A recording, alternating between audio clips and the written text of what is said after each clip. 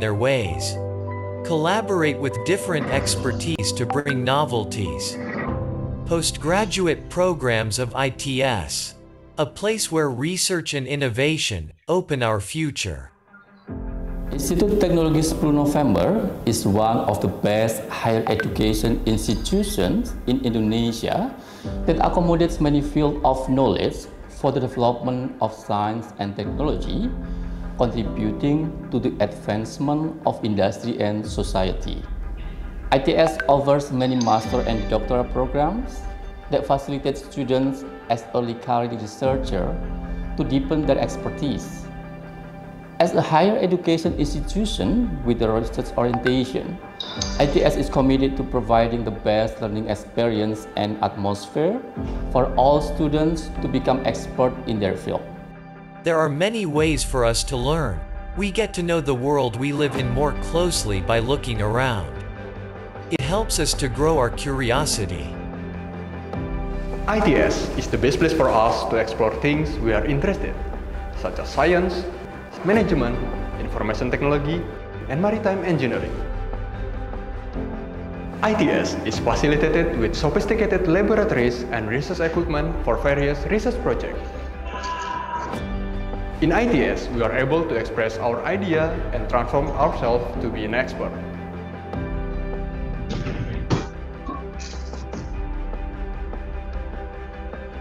There are many things that we can do to develop ourselves. Confidence to start is needed to transform the idea into real things. We can explore further through the technology around us. Also, we can improve ourselves to become better individuals. ITAs gave us the opportunity to expand our connections with people from other countries. Besides being able to deepen our knowledge, we made friends with various backgrounds. We were able to exchange ideas and discuss the topics we researched together. We also got assistance from competent experts in fields that match our research topics, helping us to achieve an objective research with validated data.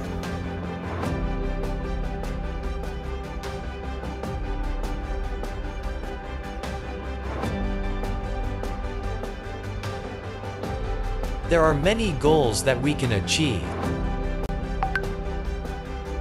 Let us show who we are and discover the things that we have been looking for in life.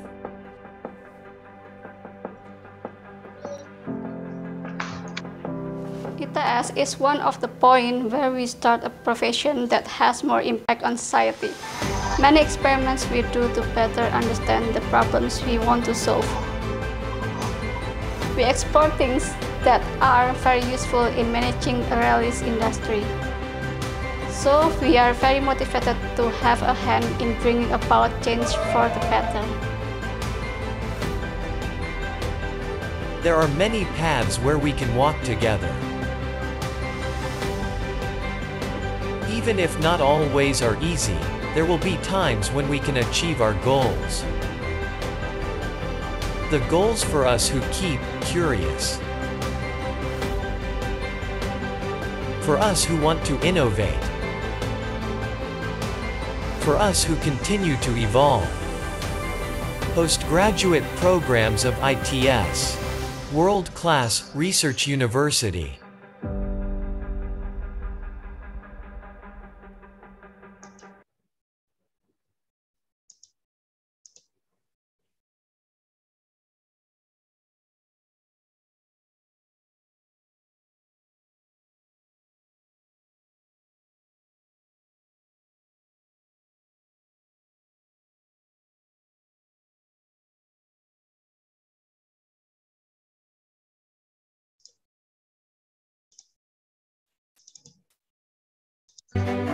The world keeps evolving.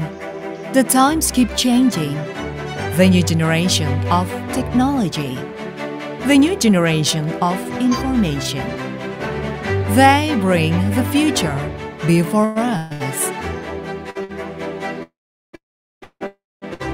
Institut Teknologi 10 November a place where the spirit of heroism underlies the new generation to research and innovate in technology. The University of Heroes, ITS.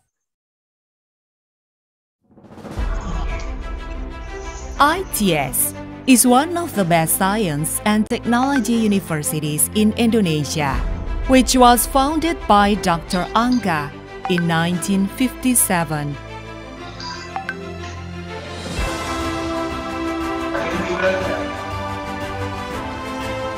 In every step, ITS focuses in advancing education, research, management, and community service.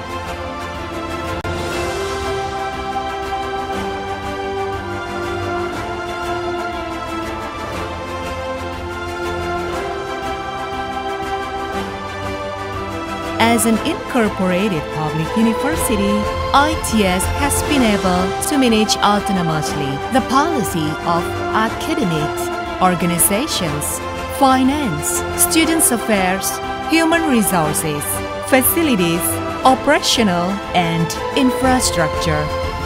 In the spirit of Indonesian heroes, during the battle in the 10th of November 1945, ITS always makes efforts to be the best in education, research, and community services, especially in the fields of industry and maritime. ITS also actively contributes to the nation development and in the future, ITS will become an entrepreneurial university with world-class reputation.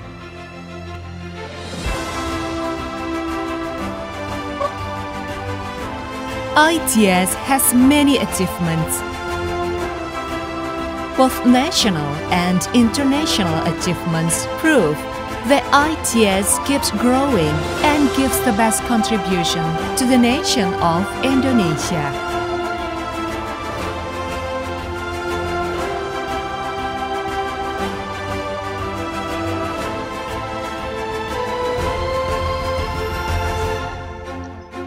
ITS is a place for new hopes to grow.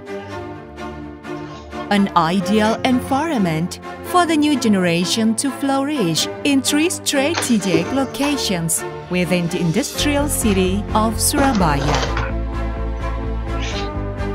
As a smart eco-campus, ITS maintains harmony between technological advances and the sustainability of the surrounding ecosystem.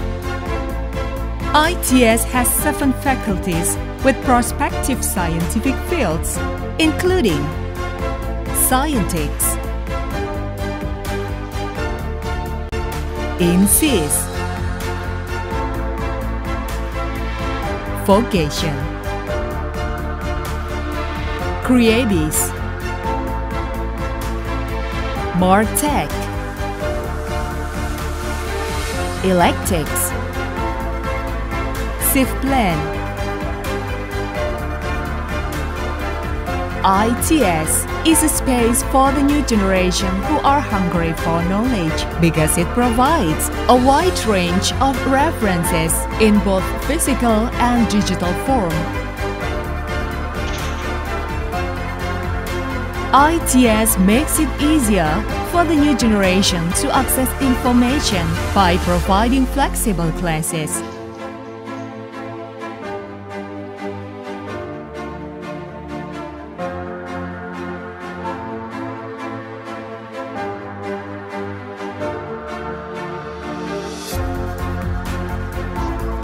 ITS keeps moving forward in facing future challenges by providing the best facilities for the new generation's activities.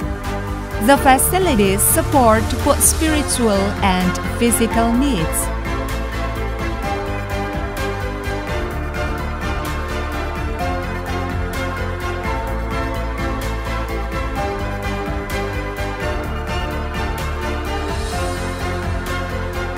ITS also provides research facilities in the ITS Science Technopark, including ICT and robotics, automotive,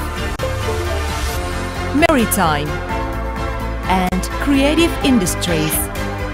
Therefore, the excellent generations from ITS will emerge and make history. ITS is a space for the new generation to express themselves. ITS is a place where the new generation learns new things and finds their purpose.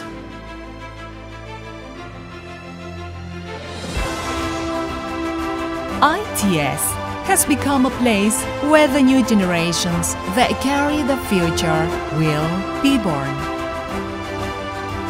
ITS is a campus of science and technology which focuses on the research and innovation, presenting technology for prosperity.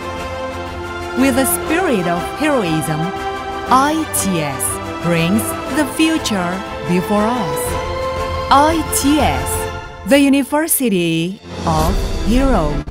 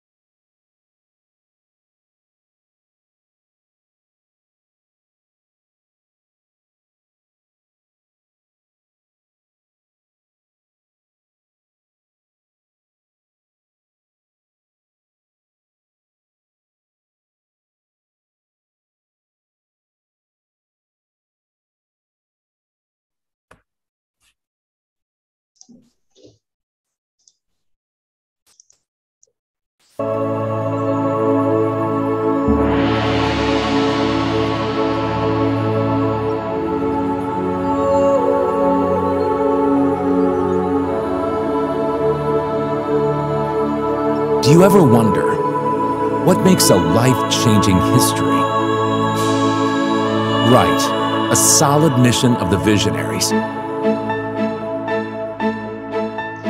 It was Dr. Anka and his colleagues' mission to accelerate technology development. Through the establishment of Institute Technology Sepuluh November, their goodwill has encouraged ITS students to take important roles in both local and global communities. Ministers, CEOs, professors, entrepreneurs, and yes, another history maker. These successful alumni were trained in a healthy learning environment that was equipped with various supporting facilities.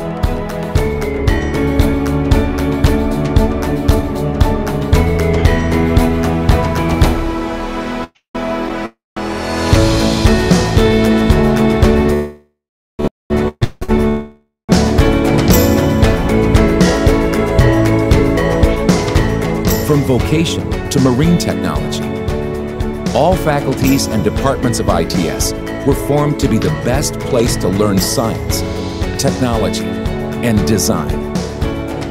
Seven faculties and one interdisciplinary school. Scientix, Faculty of Science and Data Analytics.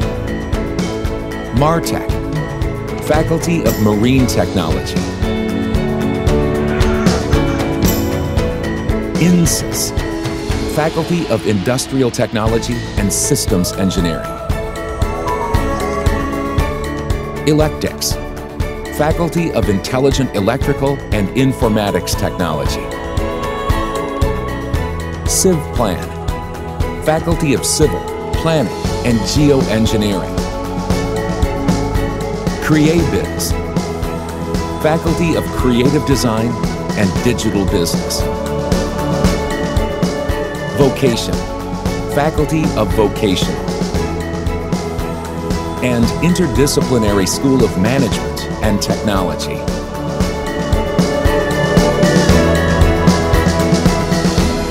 Recognized as one of the top best ranked institutes doesn't mean the finish line for ITS.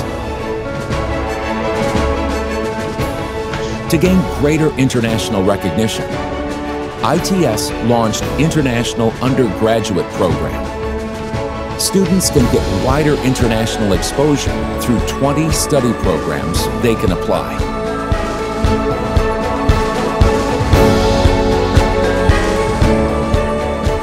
The chances are also open for professors from all over the world to teach and conduct research at ITS.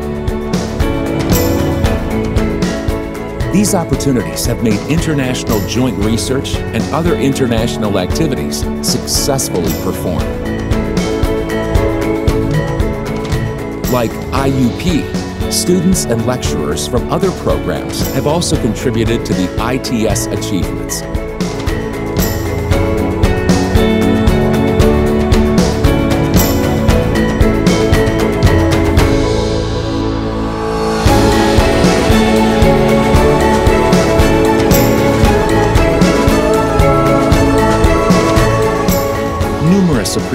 Appreciations earned exemplify Institute's excellent performance.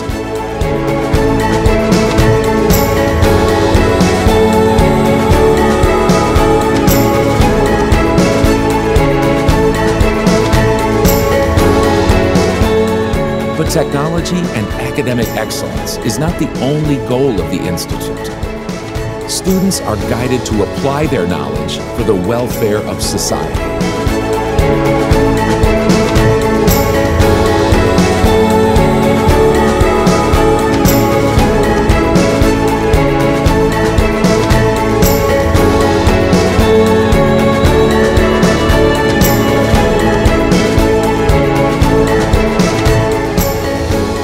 Because to note a new life changing history, technology must advance humanity.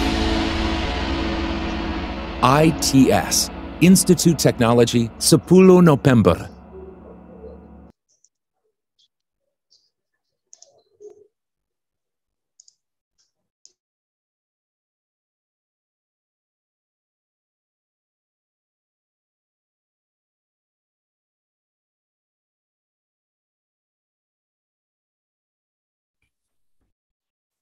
Bismillahirrahmanirrahim. Yang terhormat Bapak Direktur Direktorat Pascasarjana dan Pengembangan Akademik ITS Profesor Heri Kuswanto, yang terhormat Bapak Kasubdit Pascasarjana dan Profesi Dr. Ardiono Priyadi, yang terhormat para Kepala Departemen dan Kepala Program Studi ITS, yang terhormat para peserta yang mengikuti acara Open Talk pada hari ini. Assalamualaikum warahmatullahi wabarakatuh, selamat pagi dan salam sejahtera bagi kita semua.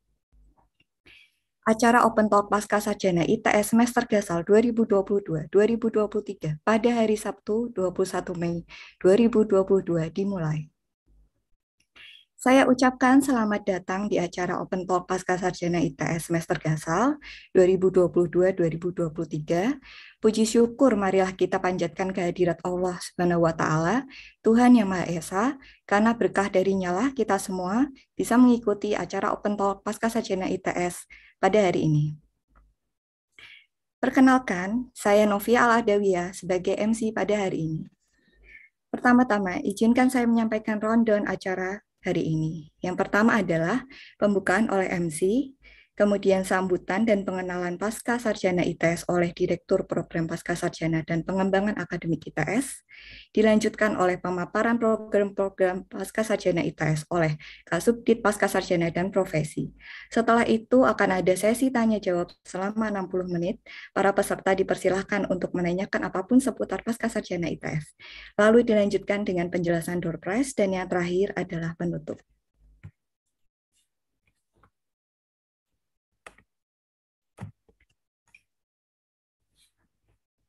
Para peserta Open Talk Pasca Sarjana Semester Gasal 2022-2023. Untuk mengawali acara hari ini, marilah kita menyanyikan lagu Indonesia Raya dan himne ITS hadirin dimohon untuk memberi sikap sempurna.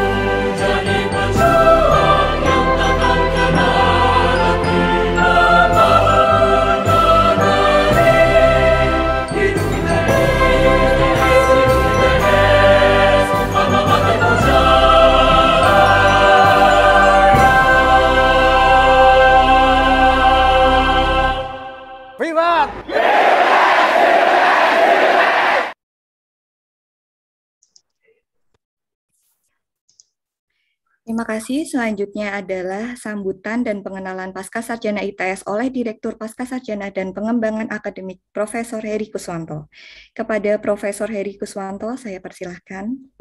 Oke, Bismillahirrahmanirrahim. Terima kasih Mbak Novia. Assalamualaikum warahmatullahi wabarakatuh. Selamat pagi Bapak Ibu semuanya. Mudah-mudahan dan insya Allah saya yakin dalam keadaan sehat walafiat ya. Jadi saya senang sekali ini Bapak Ibu bisa bergabung di hari Sabtu begitu ya, weekend yang mestinya waktunya bisa digunakan untuk berkumpul sama keluarga, tapi dibelani ikut acara ini gitu ya. Jadi mudah-mudahan ini jadi step awal yang bagus buat Bapak Ibu semua nanti uh, bisa bergabung sebagai mahasiswa ITS, mahasiswa pasca sarjana ITS gitu ya. Jadi materi dari saya singkat saja, nanti yang lebih detail dari Pak Ardiono Uh, sebentar saya share screen.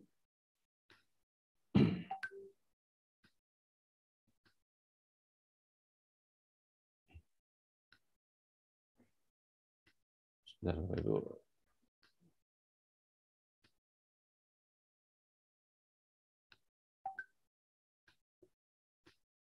Oke. Ya, jadi apa yang akan saya sampaikan uh, agak general begitu ya. Kemudian nanti yang lebih detail terkait pendaftaran, kemudian prodi-prodi dan sebagainya bisa uh, disampaikan Pak Ardiono dan sekali lagi ini forumnya santai saja Bapak Ibu. Uh, kalau ada hal-hal apa pun itu yang sekiranya ingin ditanyakan, monggo nanti bisa ditanyakan ke kami supaya bisa mendapatkan jawaban yang lebih jelas segera begitu ya. Oke, jadi sekilas tentang ITS tadi di video di video profil ITS kita sudah lihat uh, karya-karya ITS seperti apa, visi misi ITS seperti apa dan sebagainya gitu ya. Ya tentunya dari hari ke hari, eh, dari waktu ke waktu, ITS semakin memantapkan posisinya begitu di eh, Indonesia terutama ya. Namun yang perlu juga Bapak Ibu ketahui bahwa ada satu benchmark yang menjadi rujukan kita juga dalam uh, proses bisnis di ITS. Jadi kita ditarget oleh kementerian bahwa pada tahun 2025 ITS harus masuk pada uh, urutan ranking dunia itu di bawah 500 begitu. Nah ini kalau Bapak Ibu bisa lihat di sini tentang uh, milestone ITS terkait dengan perankingan gitu ya. Jadi memang mau nggak mau kita harus ikut dan harus berjuang untuk uh, mewujudkan itu karena itu adalah kontrak yang sudah ditangani oleh Pak Rektor dengan kementerian. Jadi benchmark yang pertama adalah QS World uh, University Ranking. Jadi uh, di tahun 2021 kita 751 plus, sekarang 2022 pun kita masih di 751 plus. Jadi memang tidak mudah untuk bisa masuk di dalam list rankingan saja tidak mudah begitu ya. Di Indonesia hanya ada beberapa uh, perguruan tinggi yang bisa masuk di dalam listnya QS World University Ranking dan ITS salah satunya. Kalau di Asia ITS berada di ranking 160, kemudian di Indonesia nomor 6. Kemudian ada lagi THE. THE ini juga rankingan dan lebih sulit lagi begitu. Jadi malah uh, perguruan tinggi yang bisa masuk dalam rankingan THE ini lebih sedikit lagi begitu Bapak Ibu. ITS agak mengalami penurunan di tahun 2022 masuk di uh, peringkat 1201 plus gitu. Namun ada yang membanggakan lagi bahwa ITS tahun uh, kemarin 2021 2022 itu ada impact ranking yang dikeluarkan oleh THE ITS nomor satu di Indonesia dan nomor 64 di dunia. Jadi dan Bapak Ibu juga bisa lihat ini ada ranking-ranking yang lain tapi biasanya yang menjadi uh, rujukan itu adalah QS World atau THE begitu. Nah, kenapa kenapa ini penting? Jadi uh, ya tentunya kalau kita misalkan berada pada suatu universitas atau universitas kita masuk di dalam rankingan dunia, posisi rankingan dunia yang bagus, tentunya kita juga patut berbangga begitu ya. Artinya dari sisi kualitas dan sebagainya itu uh, kita tidak lagi perlu minder, apalagi kalau misalkan nanti arahnya studi lanjut begitu.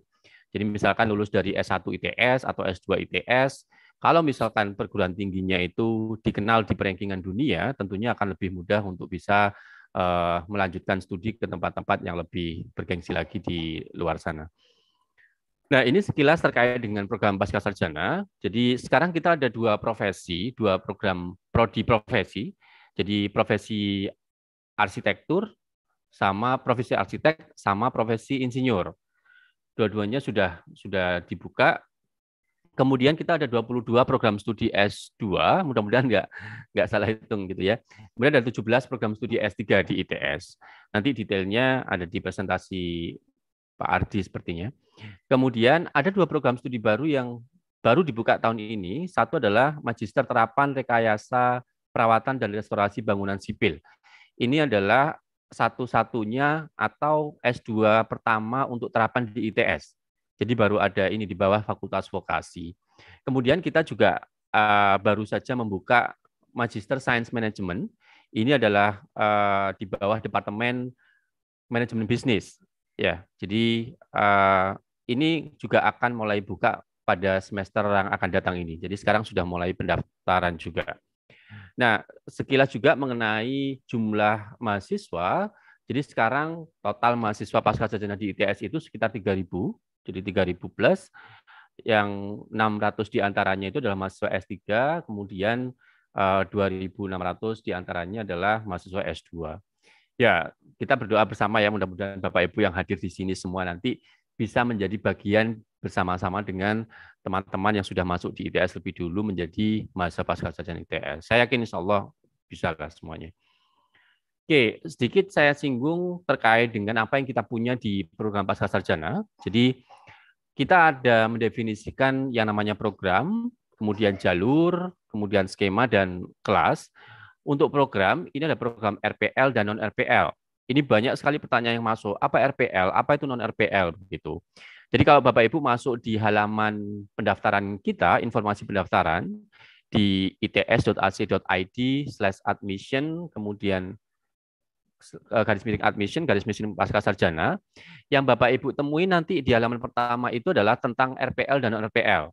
Ya, jadi gampangannya sebetulnya begini, non-RPL itu adalah jika program studi Bapak Ibu di jenjang yang sebelumnya itu sama dengan yang akan diambil di jenjang selanjutnya. Jadi misalkan S1-nya dulu di teknik industri, kemudian mau ambil S2 di teknik industri ITS, maka itu masuknya di jalur non RPL. Gitu. Nah, kalau RPL itu ya gampangnya beda gitu ya. Jadi S1-nya apa, S2-nya apa, yang agak berbeda begitu, maka itu masuknya jalur RPL. Nanti akan dievaluasi, kemudian ditentukan kalau RPL ini biasanya ada Eh, keputusannya oke okay, diterima dengan RPL. Artinya Bapak Ibu mengambil maksimal 9 SKS eh, sebagai seperti matrikulasi begitu. Nah, ada juga yang 0 SKS ya. Jadi misalkan ternyata oleh tim seleksi dinyatakan walaupun S1-nya berbeda tapi oleh tim seleksi dilihat oh ini kayaknya nggak butuh tambahan uh, kuliah begitu ya. Maka RPL tapi dengan 0 SKS itu bisa terjadi. Kemudian kita punya yang namanya jalur, jalur reguler dan jalur riset. Jadi mohon dipelajari betul terkait dengan jalur reguler dan jalur riset Bapak Ibu. Sebetulnya informasi lengkapnya ada di baku mutu Pasca Sarjana ITS yang kita share di website Pasca Sarjana ITS. Namun di, di laman pendaftaran juga ada di sana. Terutama yang Bapak Ibu perlu ketahui adalah syarat masuk dan syarat lulus begitu ya. Jadi yang paling membedakan antara jalur reguler dan jalur riset ini adalah syarat masuk dan syarat lulusnya. Jadi kalau jalur riset ini Muslim memang masuknya agak susah. Maksudnya susah itu dalam artian persyaratannya lebih tinggi dari jalur reguler dan syarat keluarnya, syarat lulusnya itu juga lebih tinggi. Ya, jadi terkait dengan paper terutama itu eh, papernya dua. Kalau misalkan eh, di bawah Q2 dengan impact factor di bawah 0,5 begitu. Tapi memang ke keunggulannya adalah tidak ada masih ada kuliah tapi sedikit sekali begitu. Ya, jadi semua dilakukan eh, yang dilakukan adalah penelitian dan harapannya untuk jalur riset ini bisa lulus lebih cepat karena hanya tergantung dari eh, sejauh mana dia bisa menghasilkan publikasi. Kemudian terkait dengan skema, ini ada banyak sebetulnya skema yang kita punya. Jadi nanti pada saat mendaftar Bapak Ibu akan ditanya di di kolom isian skema yang di daftar ini apa begitu ya. Jadi skema beasiswa atau kerjasama atau mandiri dan sebagainya. Nah, kita ada kelas Bapak Ibu yaitu kelas tatap muka dan PJJ online ya. Jadi ini juga banyak pertanyaan terutama sebetulnya PJJ di ITS itu seperti apa sih begitu ya. Jadi kalau kelas tatap muka ini ya mungkin Bapak Ibu dulu S1 kuliah, S2 kuliah biasa gitu ya waktu sebelum pandemi itu tatap muka ya seperti itu. Nah, untuk PJJ pendidikan jarak jauh ini konsepnya memang online. Dan di ITS yang berlaku adalah PJJ kelas, bukan PJJ program studi. Mohon dibedakan ini. Jadi maksudnya apa PJJ kelas? PJJ kelas itu artinya segala sesuatunya itu masih menginduk pada prodi tatap muka. Jadi terkait dengan akreditasi misalnya misalkan teknik mesin, teknik mesin ada prodi tatap mukanya, akreditasinya A. Maka PJJ kelas ini hanya bagian di dalamnya begitu. Ya, jadi lulus nanti ya masih meng, mendapatkan apa namanya akreditasi teknik mesin yang A tadi begitu. Nah, nanti mungkin Pak Ardi bisa menjelaskan lebih detail terkait dengan beberapa ketentuan utamanya kapan online, kapan offline begitu. Cuman ide kita memang uh, kita ingin ini kan idenya adalah memberikan kesempatan yang seluas-luasnya kepada Bapak Ibu yang mungkin memang sangat tidak memungkinkan untuk bisa hadir secara tatap muka karena pekerjaan, karena domisili dan sebagainya untuk bisa tetap studi lanjut begitu ya. Jadi uh, ya kita desain mostly online programnya, terutama bagi mereka yang di luar gerbang Kertasusila gitu. Oh, kita ada Nah, kelas PJJ kita ada empat Bapak Ibu. Jadi PJJ reguler, ini ada eh, nanti penjelasannya di bawah. Ada PJJ kerjasama, ada PJJ profesional, ada eksekutif. Ya, di sebelah kanan ini Bapak Ibu bisa lihat eh, flyer kita terkait dengan pendaftaran. Jadi saat ini kita masih memasuki fase pendaftaran sampai tanggal 17 Juli 2022, kecuali untuk yang mau mendaftar BPI, beasiswa BPI dari Dikti ya. Jadi BPI itu karena deadline pendaftaran BPI-nya lebih awal, maka kita set pendaftaran terakhir untuk yang mau mendapatkan LOE yang digunakan untuk mendaftar BPI itu tanggal 12 Juni 2022. Begitu juga dengan uh, ujian masuk. Pada intinya begini Bapak Ibu, kita sangat fleksibel terkait dengan pendaftaran dan ujian masuk ini terkait timelinenya ya. Jadi misalkan memang nanti ada pembukaan beasiswa lagi begitu dari kementerian atau dari mana yang ternyata deadline-nya itu lebih lebih dulu daripada deadline yang dipasang ITS, maka komunikasikan saja ke kami. Nanti kami akan coba tindak lanjuti agar Bapak Ibu tidak kesulitan untuk mendaftar. Karena biasanya mendaftar itu harus menggunakan LOE. Sehingga kita akan coba uh, set timeline yang sekiranya Bapak Ibu uh, bisa mendapatkan LOE untuk bisa digunakan mendaftar. Gitu. Kemudian tahun ini kita membuka beberapa skema beasiswa untuk mahasiswa magister dan doktor, beasiswa yang memang khusus dari ITS. Kalau fresh graduate S1 ke S2 ini sudah ada sejak lama, begitu juga dengan fast track S1 ke S2. Yang baru adalah beasiswa fresh graduate S2 ke S3. Ini baru kita buka. Ada beasiswa PMDSU penelitian dosen ITS, ada beasiswa magister dari penelitian dosen ITS. Mungkin lebih lengkapnya ada di sini ya, bisa dibuka. Nah, ini adalah PJJ reguler. Jadi kalau PJJ reguler ini Bapak Ibu bisa lihat di sini targetnya adalah calon mahasiswa berasal dari luar daerah yang sudah bekerja namun berinisiatif kuliah atas biaya sendiri. Kemudian pelaksanaan kuliahnya itu secara daring pada jam-jam reguler ya seperti mahasiswa reguler biasa, tatap muka biasa, namun secara daring. Nanti eh, secara teknis eh, bisa dilakukan secara hybrid uh, digabung dengan mahasiswa yang offline atau yang tatap muka. Kemudian ada mahasiswa PJJ kerjasama, ini yang sekarang kita juga banyak punya atau sedang ditangani ITS. Jadi ini kita mencoba memfasilitasi uh, apa namanya ya teman-teman yang dikirim oleh institusi mungkin begitu uh, untuk studi lanjut. Nah, biasanya skemanya adalah skema kerjasama. Ini waktu kuliahnya lebih fleksibel dalam artian uh, kita mencoba untuk me menyesuaikan dengan availability dari peserta program PJJ-nya. Kemudian ada program PJJ profesional, ini yang di luar jam kerja ya, jadi malam dari Senin sampai Jumat. Jadi ini yang banyak kita punya banyak mahasiswa PJJ profesional karena memang uh, ya ini barangkali adalah salah satu waktu yang paling memungkinkan buat teman-teman untuk bisa belajar gitu ya. Kalau kalau masih jam kerja itu mungkin masih terganggu dengan atau waktunya masih uh, dipakai untuk bekerja di kantor. Yang terakhir adalah PJJ eksekutif. Ini weekend kita juga punya banyak mahasiswa PJJ eksekutif untuk saat ini. Jadi ya alhamdulillah. Artinya tujuan kita untuk bisa memfasilitasi teman-teman yang memang tidak punya waktu di hari biasa uh, bisa tercapai. Nah, kemudian ini adalah kesempatan beberapa yang kita sediakan untuk mahasiswa pasca sarjana dalam rangka mendukung supaya terutama mahasiswa uh, supaya cepat bisa cepat lulus begitu ya. Karena syaratnya kan ada syarat publikasi kalau di ITS jadi kita mencoba mendesain beberapa program yang tujuannya adalah me, me leverage atau me, meningkatkan kemampuan mahasiswa terutama dalam konteks untuk riset kita ada program join double degree di beberapa prodi. Jadi Bapak Ibu nanti misalnya di semester 3 itu bisa ikut program join degree atau double degree dengan mitra dan biasanya itu gratis gitu ya dan biaya hidup juga ditanggung oleh uh, mitra. Kita punya beberapa kesempatan untuk exchange ke luar negeri. Kita ada workshop untuk academic writing, ada internship sandwich untuk S3, ada program resep yang ini masih kita wajibkan sementara untuk mahasiswa baru pasca sarjana karena memang sangat penting sekali uh, mahasiswa sebelum masuk kuliah itu punya background di riset gitu ya. Jadi ini diisi oleh Eh, profesor-profesor dari uh, mitra kita luar negeri.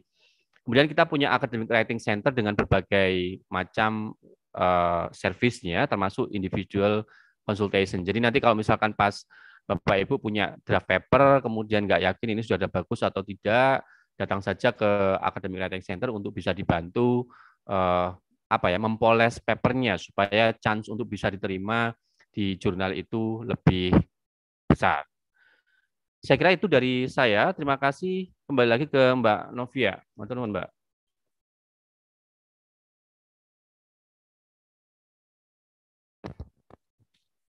Masih mute, Mbak. Terima kasih Prof. Heri Kuswanto. Acara selanjutnya adalah pemaparan program-program Pasca Sarjana ITS oleh Kasubdit Pasca Sarjana dan Profesi, Dr. Ardiono Priyadi. Kepada Dr. Ardiono Priyadi, saya persilahkan. Terima kasih Mbak Novia. Uh, yang saya hormati Pak Heri dan rekan-rekan semua, selamat pagi. Assalamualaikum warahmatullahi wabarakatuh. Baik, kelihatannya ini biar semangat ini Coba dicatat teman-teman yang panitia di belakang ya ini. Sekali ini anu ya, ada kuisnya ya. Oke, sekalian. Hadiahnya tadi apa Mbak Novia hadiahnya? Hadiahnya uh, free tes TPA ITS. Ya, jadi kita tingkatkan dua kali lipat. Tadi kan lima ya, sekarang sepuluh jadinya. Siap-siap terus ini ya. Jadi dalam presentasi saya ini nanti kira-kira insya Allah ada tiga pertanyaan. Di awal, di tengah, dan di akhir. Nah ini di awal ini sebelum masuk ini. Oke. Pertanyaannya gampang ini. Ya, tapi ini kalau alumni ITS ini siap-siap monggo dilihat yang angkat tangan duluan ya teman-teman di belakang teman-teman anu pasca sarjana ya. Pertanyaannya simpel. Ya, ya, pertanyaannya diperhatikan. Ada berapakah kampus ITS? Wah ini oh, cepet cepet tadi. Wah ternyata banyak alumni. Semoga silakan. Ya duluan monggo. Siapa? Anu teman-teman yang duluan tadi siapa? Monggo dipanggil. Mbak Novia, mohon bantuannya. Uh, ini atas nama. Tadi cepet banget jadi banyak banget langsung. Oh berarti banyak alumni nih Pak. Atau banyak teman-teman sudah membaca ini Pak. Hmm. Yang pertama nih sepertinya Pak Oki Wardana ya. Monggo Pak Oki Wardana. Ini Alhamdulillah. Ya. Kebetulan saya bukan alumni Bapak, cuman Alhamdulillah berarti di kita sudah Surabaya. kenal berarti Pak. Terima kasih. Oke. Okay. Yang ya. saya tahu ada dua Bapak, satu di ITS eh, Sukolilo itu, yang kedua di Cokro Aminoto yang di dekat TP ya kalau salah ya untuk S2-nya. Nah, nah punten, masih salah jawabannya. Oh, baik. Terima kasih Pak Oki. Oke, okay, okay. berikutnya. Ya ada yang uh, berikutnya siapa, Pak? Bu Rosada Naulina. Oh, Bu Rosada. Bu. Halo, Bu Rosa? Iya. Ada tiga, Pak. Siap, monggo di mana saja? Di uh, eh, ITS Mulyosari, kemudian Manyar, satu lagi di Cokro Aminoto. Yang Cokro Aminoto manajemen, kemudian yang di Manyar itu teknik sipil D3-nya, vokasi. Siap, terima kasih. Ada tempatnya betul ya, kamu tanyakan tempat. Jadi sekarang yang di apa namanya di Manyar itu D3-nya sudah empasing, semuanya adalah D4 plus tadi ada satu uh, prodi yang sudah mendirikan S2 yang ditanyakan Pak Eri. Sehingga saya update sekali di Pak Eri tadi sudah disebutkan terakhir. Gitu. Betul ini Mbak jawabannya. Gitu. Terima kasih, selamat ya. Oke. Nanti siap-siap nanti ada pertanyaan berikutnya. Ini spontan ini pertanyaan nggak usah sulit-sulit ini gampang. Oke. Jadi Pak Ardi ngapain? Ya. Bapak Ibu yang bertanya di chat, nanti saya jawab pas sesi diskusi saja ya, supaya nggak ada yang kelewatan. Teman-teman. Iya. Bagi yang menanyakan ya. di chat nantinya akan uh, dijawab pada saat sesi tanya jawab. Baik, saya lanjutkan gitu. Baik, jadi uh, melanjutkan di Pak Heri tadi, uh, Pak Heri mungkin anu apa namanya catatannya itu tadi anu karena itu banyak prodi baru tadi masih dua yang S2 itu saya cek itu 22 tapi yang betul Bapak Ibu kita punya sekarang adalah 26 karena terakhir itu ada dua prodi yang baru, yaitu adalah satu tadi sudah sebut Pak Eri, yaitu infrastruktur uh, sipil di Departemen Infrastruktur Sipil. Itu ada tadi adalah uh, rekayasa dan restorasi bangunan sipil. Ada lagi satu, yaitu adalah di manajemen bisnis, yaitu ada di situ adalah Magister Science Management. Nah, oke okay ya. Siap. Monggo, yang ini dari teman-teman yang jalur-jalur apa namanya yang teman manajemen dan seterusnya mungkin bisa mengambil manajemen sains dan bisnis juga baru. Jadi itu. Baik uh, saya untuk mempercepat waktu saya lanjutkan. Biar tidak lama gitu ya. mohon izin share screen. Oke.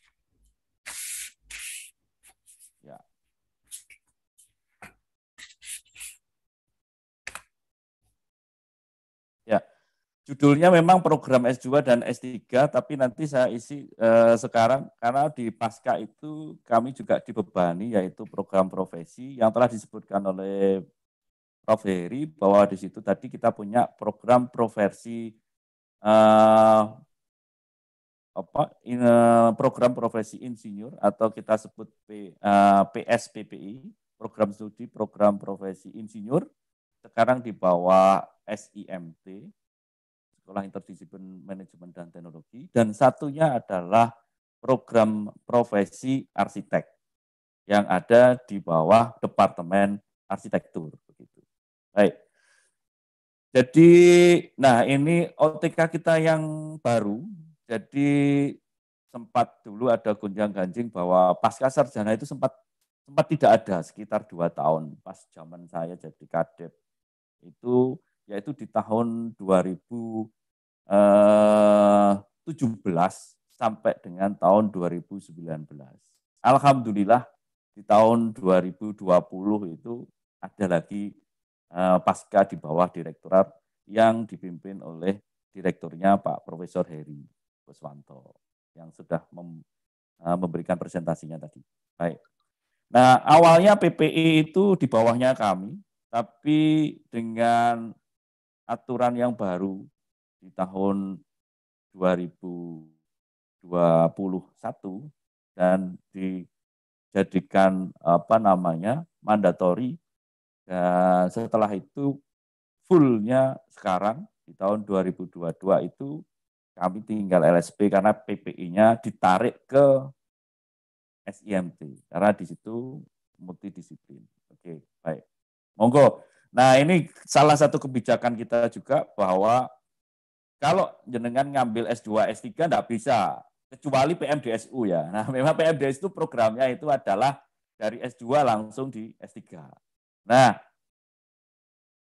kalau jenengan mau ngambil program profesi, baik arsitektur, uh, profesi arsitek maupun uh, insinyur, maka di situ bisa diizin. Kalau yang yang diizinkan itu yang insinyur ya. Nah, insinyur karena hanya semester yang satu semester, maka Anda jenengan bisa ngambil insinyur dan S2 atau S3 begitu. Ya. Nah, itu fasilitasnya. Baik. Berikutnya, nah ini Bapak Rektor kita, Pak Profesor Dr. Insinyur Muhammad Azhari, MN. Gelar lengkapnya panjang karena ada IP, IPU apa IP IPU kemudian ASEAN Engineering dan seterusnya ya. Oke ya. Baik. Kemudian ada ini Pak WR 1 yaitu Profesor Dr. Insinyur Adi Suprianto. Biar nanti kenal jadi jenengan nanti pasti berurusan dengan beliau-beliau ini. Oke ya.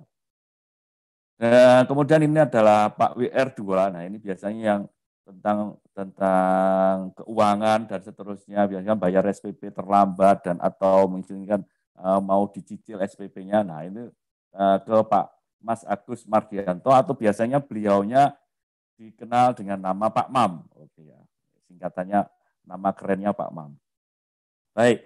Kemudian ada juga di situ adalah Pak WR3 yaitu adalah Pak Ahmad Rusdiansyah dan Pak WR4 yang mengurusi penelitian kalau eh, Pak WR3 ini tentang SDM.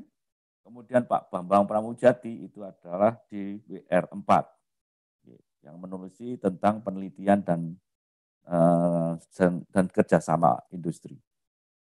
Baik, eh, di kami jadi di bawahnya Pak Eri ada saya sendiri, Kasubdit Pasca Sarjana dan Profesi, ada juga di berikutnya adalah Kasubdit Kerjasama Akademik Pak Nur Sahroni dan juga di situ ada Pak Kasubdit eh, Pengembangan Akademik yaitu Pak Bagus Jati. Di bawahnya Pak saya itu ada LSP yaitu Pak Afan Hamzah. Eh, kemudian di bawahnya Pak eh, Pak Bagus itu ada satu kasih yaitu adalah Pak Raden Darmawan di situ tentang kurikulum. Nah sekarang ini ramenya kurikulum ini kita lima tahun sekali itu harus selalu dievaluasi, mungkin dikembangkan, ditambahi atau uh, lebih difleksibelkan dengan stakeholder dan uh, kondisi-kondisi yang terbaru. Nah kurikulum kita itu tahun 2018 sampai tahun 2023 sehingga nanti per uh, Agustus atau September 2023 itu sudah pergantian kurikulum baru yaitu kurikulum 2023-2028. Baik. Nah ini eh, kalau pengen informasinya tentang pasca sarjana itu adalah ini admission pasca sarjana. Ya. Nah dulu memang di situ adalah semit, semua dulu adalah semit baik S1 maupun S2 adalah semit, tapi sekarang dibawa ke dalam uh, eh, ITS admission. Jadi di ITS admission itu ada banyak, ada pasca sarjana, ada S1, ada D4, ada yang satunya juga di situ IUP. Ya, ini yang admission pasca sarjana. Ketik saja di Google admission ITS begitu langsung masuk di sini. Kalaupun nanti terpaksa masuk di Semit, nah begitu klik di Semit itu juga akan lari ke sini. Ya. Nah ini lebih gampang karena kami kami rancang untuk lebih memudahkan Eh, pengguna. Nah ini nanti halaman depannya seperti ini. Ya ini yang pasca sarjana. Yang apa namanya profesi ada lain uh, di sebelahnya. Jadi nanti diklik tinggal kalau diklik ini. Jadi ada nanti seperti yang dikatakan uh, Prof Heri tadi, di situ ada non RPL sama RPL. Oke ya. Oke. Dijelaskan semua di situ tentang RPL sama non RPL. Nanti saya jelaskan juga uh, apa itu RPL sama non RPL. Kemudian di kami di situ ada eh, satu, dua, tiga, ah, ada yang satu kelewatan. Mohon maaf, jadi ada uh, Smith tadi belum saya sebutkan, tapi di bawah nanti ada Smith. Jadi kita punya tujuh fakultas plus satu sekolah. Kemudian kita masuk di sini, jadi di Fakultas Saintek atau Fakultas Sains dan Analitika Data di situ ada Departemen Fisika, Departemen Matematika, Departemen Kimia, Departemen Statistik, Departemen Biologi, dan Departemen Aktuaria. Yang mempunyai S2 dan S3 itu baru 4, sedangkan yang punya S2 ada 5. Jadi di semuanya ada, nih, jadi fisika ada S1, S2, S3, dan seterusnya. Oke. Kemudian, eh, di Fakultas Teknologi Industri dan Rekayasa Sistem, disingkat di situ adalah nama kerennya adalah Fakultas Insis, begitu. Di situ ada lima departemen, e, semuanya punya S2 kecuali yang material itu hanya punya S2 tidak punya S3. Belum punya. Ini sedang mendirikan. Mudah-mudahan uh, satu atau dua tahun ke depan uh, sudah terbentuk yaitu S3 uh, material dan metalurgi. Kemudian di Fakultas Sipil dan Perencanaan itu ada enam departemen. Kemudian di situ, nah ada yang uh, Departemen Teknik Sipil, Arsitektur dan Lingkungan sudah punya S3, sedangkan Geomatika dan Perencanaan Wilayah Kota itu hanya punya S2, sedangkan Geofisika belum punya S1, S2-nya, hanya S1. Nah, sehingga kalau jenengan memang bidangnya geofisika, bisa mengambil geomatika. Nanti uh, risetnya di bidang geofisika. Oke, okay. Mudah-mudahan nanti uh, beberapa waktu ke depan akan tumbuh lagi S2 geofisika. Baik, kemudian di situ ada Fakultas Teknik Kelautan yang kita sebut adalah Martek. Bahasa kerennya adalah Martek. Ada empat departemen, semuanya punya S2, yang teknik sistem perkapalan dan teknik kelautan punya S3.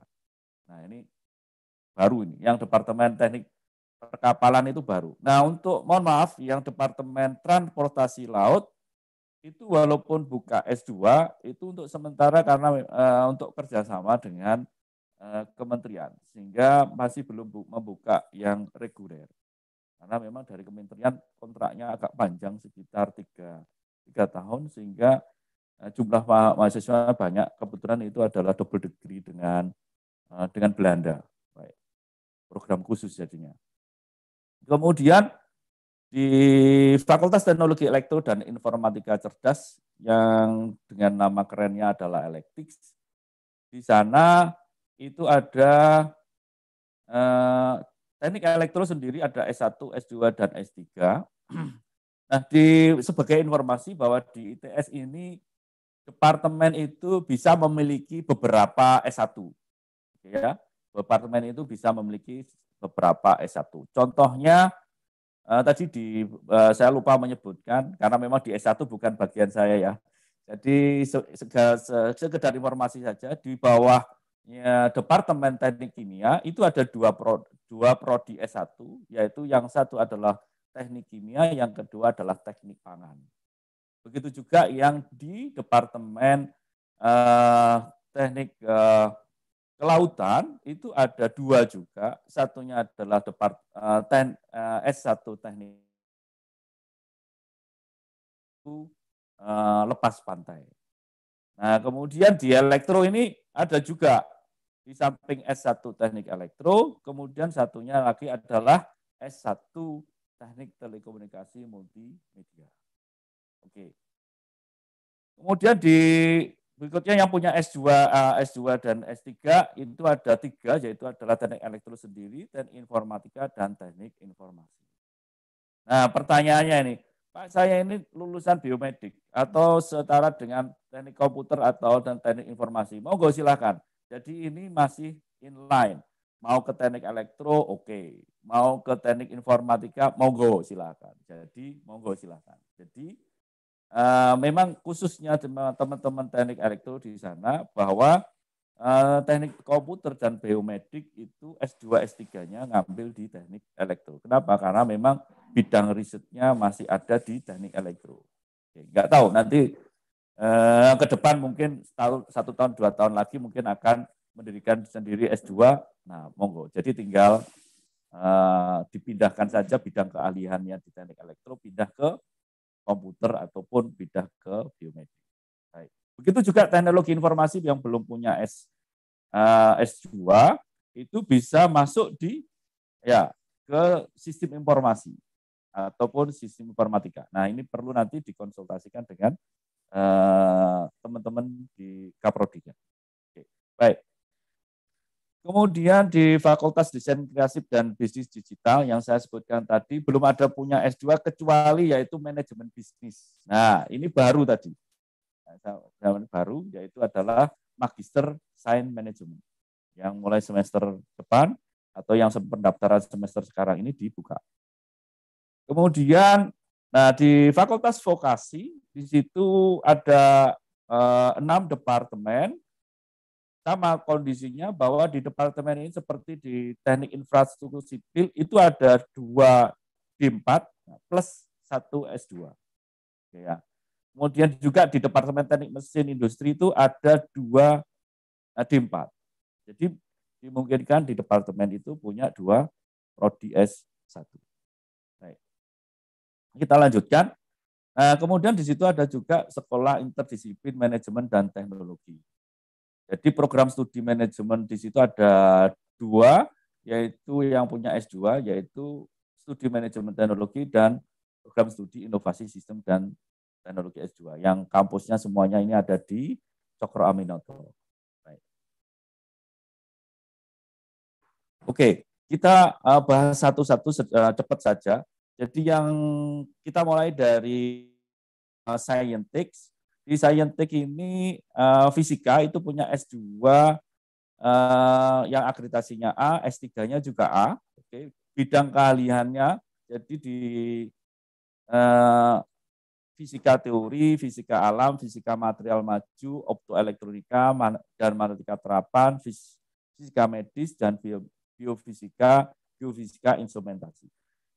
Ya, atau dengan semua bisa pergi ke websitenya ini melihat uh, lebih detail. Kenapa? Karena memang di situ nanti ada kurikulumnya bagaimana dan seterusnya.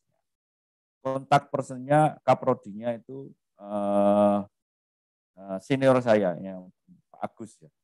Pak Agus, Profesor Agus, sekarang jadi sudah jadi Profesor. Profesor Agus lulusan Hiroshima kebetulan satu alumni dengan saya dan Pak Kiai ini. Oke ya.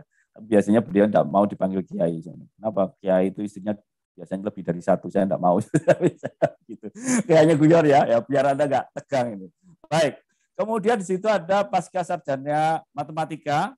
Ya di situ eh, punya S2 S2-nya adalah akreditasi A yang S3-nya akreditasinya baik. Karena ini baru jadi dapat akreditasi baik. Jadi akreditasi sistem akreditasinya lama itu adalah A B dan C sedangkan yang baru itu adalah unggul kemudian baik sekali, baik. Ya, jadi berbeda. Uh, berbeda. Unggul dengan A itu agak berbeda. Sehingga uh, untuk mendapat mendapatkan unggul itu agak uh, agak agak berat sekarang. Ya, mudah-mudahan nanti ITS semua yang A itu berubah jadi unggul semua nanti. Oke, amin. Baik, jadi bidang ke bidang artinya di sini adalah bidang keahliannya itu dalam bentuk riset ya. Jadi risetnya ada analisis dan aljabar, matematika terapan dan ilmu komunikasi. Atau lebih lengkap bisa masuk ke uh, laman ini. Ini nanti bisa saya sharing uh, presentasi saya ke teman-teman. Jadi nanti teman-teman bisa mendapatkan presentasi saya juga. Baik. Kemudian, nah ini bidang penelitiannya lebih luasnya adalah ini, ya Nanti kalau jenengan bingung, kok ada juga fasi dan seterusnya ya. Di elektro juga ada fasi, kemudian di mana-mana juga ada fasi. Oke, sama ya. Jadi da, uh, kalau di layer atas itu ada ada beda ya. Jadi kadang itu uh, pengembangan model matematik itu berada di teman teman-teman saintik, uh, saintik. Kenapa? Karena di situ adalah pengembangan ilmunya begitu. Kalau di luar negeri atau kita kenal di situ adalah uh, desainnya desainnya. Jadi mengembangkan model fasinya. Nah, kalau kami kalau di elektro atau apa, kebetulan saya dari teknik elektro itu adalah bukan mengembangkan dari situ adalah memakai. Tapi ada juga teman-teman yang di elektro juga mengembangkan itu, tapi sedikit sekali biasanya begitu. Lebih dari teman-teman di saintik yang mengembangkan itu. Itu perbedaannya di situ. Kemudian di situ ada pasca sarjana kimia, di situ ada S2-nya akreditasinya A dan S3-nya juga A. Jadi di situ ada ada bisa risetnya di bidang organ, kimia organik, anorganik, fisik, analitik maupun biokimia. Oke, mungkin ada juga teman-teman uh, kimia ini juga yang uh, apa namanya sekarang arahnya ke instrumentasi juga. Uh, monggo nanti itu ada yang baru mungkin ada uh, risetnya di bidang itu. Kemudian di pasca sarjana berikutnya adalah statistik. Dia punya S2 dan S3 adalah akreditasinya semua A dengan risetnya biasanya di bidang statistika sama data science. Nah, Prof Heri ini kebetulan dari statistik ya. Nah, kadang risetnya itu ya dengan dengan saya ya ada irisannya pasti lah. Saya sendiri misalkan risetnya di elektron misalkan di situ adalah untuk katakanlah uh, untuk uh, forecasting, load forecasting ilmunya orang statistik itu nah, sama jadinya. Jadi bisa kolaborasi jadinya. Baik, kemudian di situ ada pasca sarjana biologi, uh, di mana dia baru punya S2, mudah-mudahan ke depannya punya uh, juga uh, S3 begitu dengan akreditasi B. Nah ini perlu diupdate karena yang baru-baru karena ITS itu tahun 2002 ini ada sekian puluh profesor baru. Sekali sekali pengukuhan itu ada kadang ada delapan ada sepuluh. Jadi selama uh, uh, Pak Rektor yang baru Prof, uh, Prof uh, Azhari ini uh, profesornya banyak sekali yang yang baru. Alhamdulillah jadi. Mas sumber daya ITS-nya harus uh, naik semuanya. Ini cuma semuanya digenjot untuk jadi profesor. Cuman saya masih endo dulu, menghindar dulu. Ya. Baik, mudah-mudahan mohon doanya sebentar lagi jadi profesor ya nanti. Amin, amin. Oke, nah jadi di situ ada eh, kalau nggak salah jadi di, nah, di tahun 2021 itu kemarin di situ ada pengukuhan satu profesor dari uh, biologi sehingga nanti dari biologi ada profesornya juga. Nah, Bidang kepeminatan di situ adalah risetnya di bidang biologi kelautan, biologi lingkungan, dan bioteknologi. Ya. Nah, ini bidang riset uh, penelitiannya yang lebih luas begitu. Saya nggak tahu saya uh, termasuk yang apa namanya uh, dulu uh, tidak begitu suka biologi tapi kalau nulis tentang biologi itu kalau SMA itu selalu dapat dapat nilai yang terbaik biasanya cuma saya paling males belajar biologi. Baik. Oke Fakultas Teknologi Industri dan Rekayasa Sistem atau uh, INSIS di situ kita mulai dari teknik mesin. Jadi di teknik mesin ini uh, S2 S3-nya akreditasi A kemudian ada bidang teknik mesin, kemudian ada rekayasa energi, dan ada beberapa yang baru begitu. Ya, nah, nanti bisa secara lengkap dilihat eh, di uh, laman ini. Kemudian di situ uh, ini adalah penelitiannya. Mungkin di apa ada yang tanya, kok mirip mirip juga ya. Nah, memang di beberapa tempat itu di mesin sendiri juga ada irisan dengan teknik elektro maupun teknik yang lain karena di situ ada industrial system and control system, robotik. Nah, robotiknya mungkin agak berbeda arahnya ya dengan dengan ini. Tapi memang memang di mesin sendiri pasti ada robotik. Robotik itu pasti digunakan di mana-mana. Salah satunya misalkan di vehicle ya. Uh, vehicle itu untuk menggerakkan uh, setirnya mobil itu biar bergerak secara otomatis itu kan berarti di situ adalah uh, butuh itu ada robotik. Makanya itu yang disebut robotik itu sangat luas gitu ya. Jadi tidak hanya uh, satu bidang yang uh, menguasai itu, di mana-mana bisa ada. Ya, itu adalah di robotik.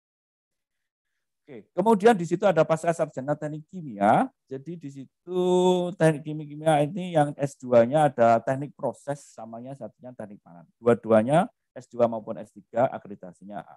Lengkapnya monggo di website ini. Kemudian ini adalah bidang penelitiannya yang lebih luas, oh, di teknik kimia. Nah, kemudian berikutnya adalah pasca sarjana teknik industri. Di situ punya tujuh bidang ke, uh, bidang keahlian. Kemudian di situ S2 S3-nya akreditasi A. Ini kayaknya satu-satunya uh, S2 S1-nya karena ABET itu belum ada ya. S1-nya itu yang terakreditasi ABET itu uh, teknik industri. Sekarang soalnya ABET itu sudah apa namanya kita tidak boleh akreditasi ke APET, kita harus ke IAB sama-sama di anggotanya WA Washington Accord begitu. Baik. Kemudian di pasca sarjana teknik fisika, jadi di situ yang S2 akreditasinya A, yang S3 masih C di situ. Mungkin ini ke depannya mungkin teman-teman sedang um, mau reakreditasi untuk meningkatkan akreditasinya begitu. Nah, di situ ya, bidang keahliannya ada nih, sistem tertaman dan cyber fisik, pengukuran keandalan dan nah, ada beberapa risetnya ya juga ada yang mirip dengan di sana karena di layer atasnya. Cuman uh, strandnya agak berbeda biasanya begitu. Oke, baik. Kemudian berikutnya adalah pakar sarjana teknik material dan metalurgi baru punya S2 dengan akreditasi di B dan bidang risetnya di situ ada metalurgi, metal, proses metalurgi manufaktur, korosi dan gagal material, ekstraksi dan Kalau kita bicara material pun kadang itu ber, beririsan dengan mesin, dengan kimia, teknik kimia, teknik industri dan bahkan teknik elektro juga. Misalkan di teknik, di teknik elektro itu bahwa dia teknik material itu contoh misalkan uh, untuk prosesnya itu teman-teman material misalkan di situ adalah ada smelter, smelting gitu. Tapi sempat penyedia listriknya uh, orang elektro dan seterusnya. Nah ini memang kolaborasi biasanya kalau di industri itu makanya makanya kita diajari belajar teamwork begitu karena itu. Karena memang eh, keahliannya nanti bisa tidak bisa satu orang harus eh, bersama-sama. Baik. Kita masuk di Fakultas Teknik Sipil Perencanaan dan Kebumian.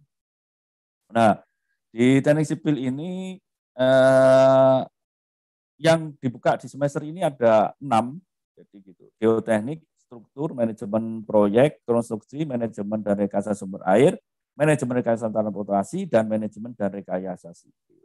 Websitenya bisa dilihat di sini. Punya S2 dan S3, akreditasinya ASME. Kemudian eh, pasca sarjana arsitektur punya S2 S3 akreditasinya juga A plus PPAR. Ya, plus PPAR yaitu pendidikan profesi arsitek. Kalau uh, departemennya atau pas, uh, namanya arsitektur tapi kalau profesi itu arsitek. Oke ya. Kalau uh, departemennya teknik, tapi profesinya satunya insinyur. Oke ya? Oke, jadi seperti itu. Uh, kadang ada pertanyaan ini, sekalian saya jawab di sini. Pak, misalkan apakah saya bisa apa bedanya PPAR sama insinyur itu bagaimana? Nah ini biasanya ada yang tanya. Jadi memang di, uh, di pekerjaan, di sistem pekerjaannya itu ternyata di bidang arsitek ini ada yang unik, yaitu ada dua. Memang bidang pekerjaannya hanya di bidang arsitektur dan ada bidang engineering. Nah, kalau jenengan bekerja di bidang engineering, maka ngambilnya adalah profesinya insinyur. Tetapi kalau e, bidangnya arsitek, maka Anda ngambilnya arsitek. Pak, kalau saya nggak melangkah di dua kaki, ambillah dua-duanya. Oke ya, karena teman-teman arsitek ini banyak yang ngambil dua. Jadi dia punya e, PPAR dan juga profesi uh, insinyur. Oke ya? Oke. Baik.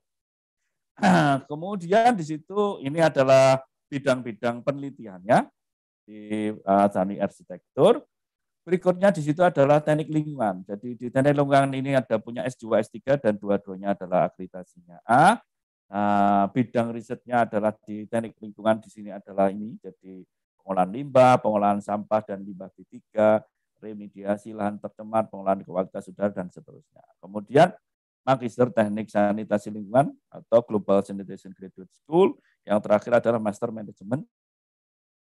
Oke, uh, bisa dilihat di uh, laman ini lebih lengkapnya tentang uh, apa namanya kurikulum dan sebagainya.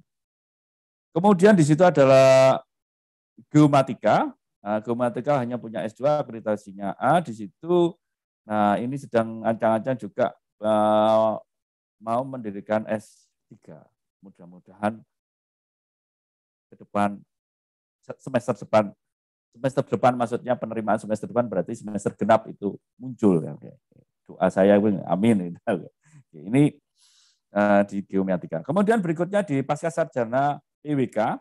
Jadi PWK ini baru baru semester 2021 kemarin uh, akreditasinya baik Kemudian di situ bidang keahliannya tentang riset perencanaan wilayah dan kota. Bisa dilihat di web, websitenya tentang PWK.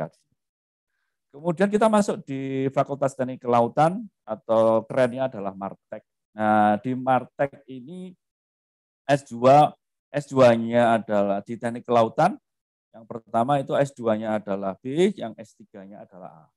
Kemudian di situ bidang ke, ke apa namanya risetnya adalah ada teknik lautan, ada mungkin bangunan laut dan seterusnya, mungkin tentang apa namanya eh, energi laut dan seterusnya. Nah itu eh, itu tentang riset-risetnya. Kemudian di situ ada berikutnya adalah pasca sarjana teknik sistem perkapalan, mempunyai S2 dan S3, yang S2-nya adalah B, sedangkan yang S3-nya adalah baik, Kemudian di situ bidang keahliannya di situ adalah teknik sistem perkapalan. Kebetulan ini ada juga kerjasama kebetulan dengan school yang di Wilmar ya jadi mungkin yang tertarik ada kerjasama monggo biasanya uh, uh, monggo silahkan dicari di websitenya ini nah, okay. kemudian di situ ada pasca sarjana, sarjana transportasi teknik transportasi laut nah akreditasinya baik uh, baru berdiri juga tahun 2021 kemarin uh, mohon maaf ini yang buka hanya join degree Nah, monggo yang kalau terjadi uh, joint degree itu kalaunya dengan kementerian. Nah, ini daftarnya di kementerian nanti nah, dengan joint degree-nya itu. Jadi setahun di Indonesia, setahun di sana. Ya. Kalau bahasa Inggrisnya kurang, biasanya di-upgrade. Ya, lumayan, Anda harus harus betul-betul ini upgrade karena biasanya mintanya uh, tinggi di sana. Di luar negeri itu kadang mintanya IELTS-nya itu minimal enam setengah begitu kan. Oke ya. Baik. Kemudian di Fakultas Teknik Elektro dan Informatika Cerdas, uh, Electics. Jadi uh, Teknik Elektro di situ ada eh, S2-nya adalah akreditasi A, yang S3-nya adalah unggul baru. Memang uh, ya cepat uh, kayaknya teman-teman elektro ini cepat anu, berkeluh kesah. Kenapa? Karena memang itu, pada saat itu itu sudah mendapatkan nilai akreditasinya A yang S3-nya, tapi habis itu harus re, ano, apa namanya, harus visitasi. Ternyata mau dihadiahi unggul. Oke. Nah, itu akhirnya syukuran. Alhamdulillah jadi begitu. Tidak sia-sia jadinya. Baik. Jadi kebetulan di sini ada bidang keahliannya ada teknik sistem tenaga, teknik sistem pengaturan, telekomunikasi multimedia, teknik elektronika, jaringan cerdas multimedia, multimedia dan telematika. Itu bidang-bidangnya yang ada di teknik elektro. Kemudian di situ ada pasca sarjana teknik informatika, di situ punya S2 dan S3, S2-nya adalah akreditasi A, yang S3-nya adalah akreditasi B. Eh, di situ bidang keahliannya adalah di situ teknik informatika, yang S3-nya adalah ilmu komputer. Lebih lengkapnya bisa dilihat di website. Kemudian di informasi, jadi di informasi ini S2-nya adalah B, S3-nya itu, nah ini baru. Kayaknya uh, akreditasinya baik jadi, masih baik jadi, karena ini baru.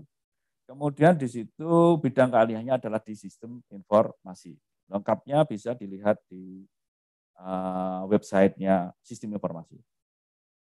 Kita masuk di Kriabis. Kriabis hanya ada satu, yaitu adalah Magister Manajemen uh, Kriabis di situ dia hanya bidang keahliannya adalah Magister Science Management. Nah, tadi pagi sebelum saya presentasi ini saya sudah saya cek ternyata di websitenya sudah muncul. Silakan, monggo silakan dicek di sini lebih lengkapnya. Kemudian, nah ini yang tadi tidak ada di atas tadi adalah adalah Sekolah Interdisipliner Manajemen dan Teknologi atau disingkat SIMT. Nah, di SIMT ini ada eh, S2 dan S3 di Pasca Sarjana Manajemen Teknologi. Itu ada S2, S3, yang S2-nya A, yang S3-nya adalah baik dengan bidang peminatan di situ ada manajemen industri, manajemen proyek, manajemen teknologi informasi, manajemen bisnis maritim, manajemen rantai pasok, analitika bisnis, dan manajemen desain inovasi. Nah, bisa dilihat di websitenya ini. Kemudian di bawah SMT ada yang berikutnya adalah pasca sarjana inovasi sistem dan teknologi eh, SMT. Eh, di SMT itu nggak punya S1, punyanya hanya S2 sama S3. Jadi yang ini akreditasinya baik, ini baru juga berdiri tahun 2001, isinya adalah energi terbarukan, ada teknologi geotermal, satunya adalah mitigasi risiko bencana. Kemudian, nah ini ada juga di bawahnya SMT ada program studi, program profesi insinyur. Nah, di situ eh, akreditasinya adalah akreditasi minimum, sedang reakreditasi, mudah-mudahan cepat keluar begitu. Nah, websitenya kemudian di sini ya, nah, sudah dipindahkan di sini. Coba nanti kalau memang saya cek kemarin sudah ada tadi pagi juga. Baik. Nah ini adalah bidang-bidang yang ada. Oke.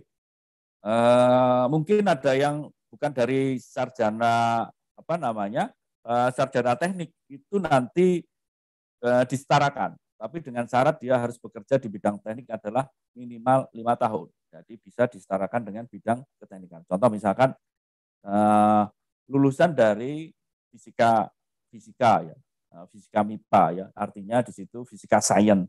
Kemudian ternyata pekerjaannya itu di teknik uh, di keteknikan, misalkan di pengeboran pengeboran lepas pantai atau misalkan di mining begitu atau apa ya pertambangan ya mining. Mining atau pertambangan nah itu, itu berarti kan di teknik. Nah itu bisa disetarakan.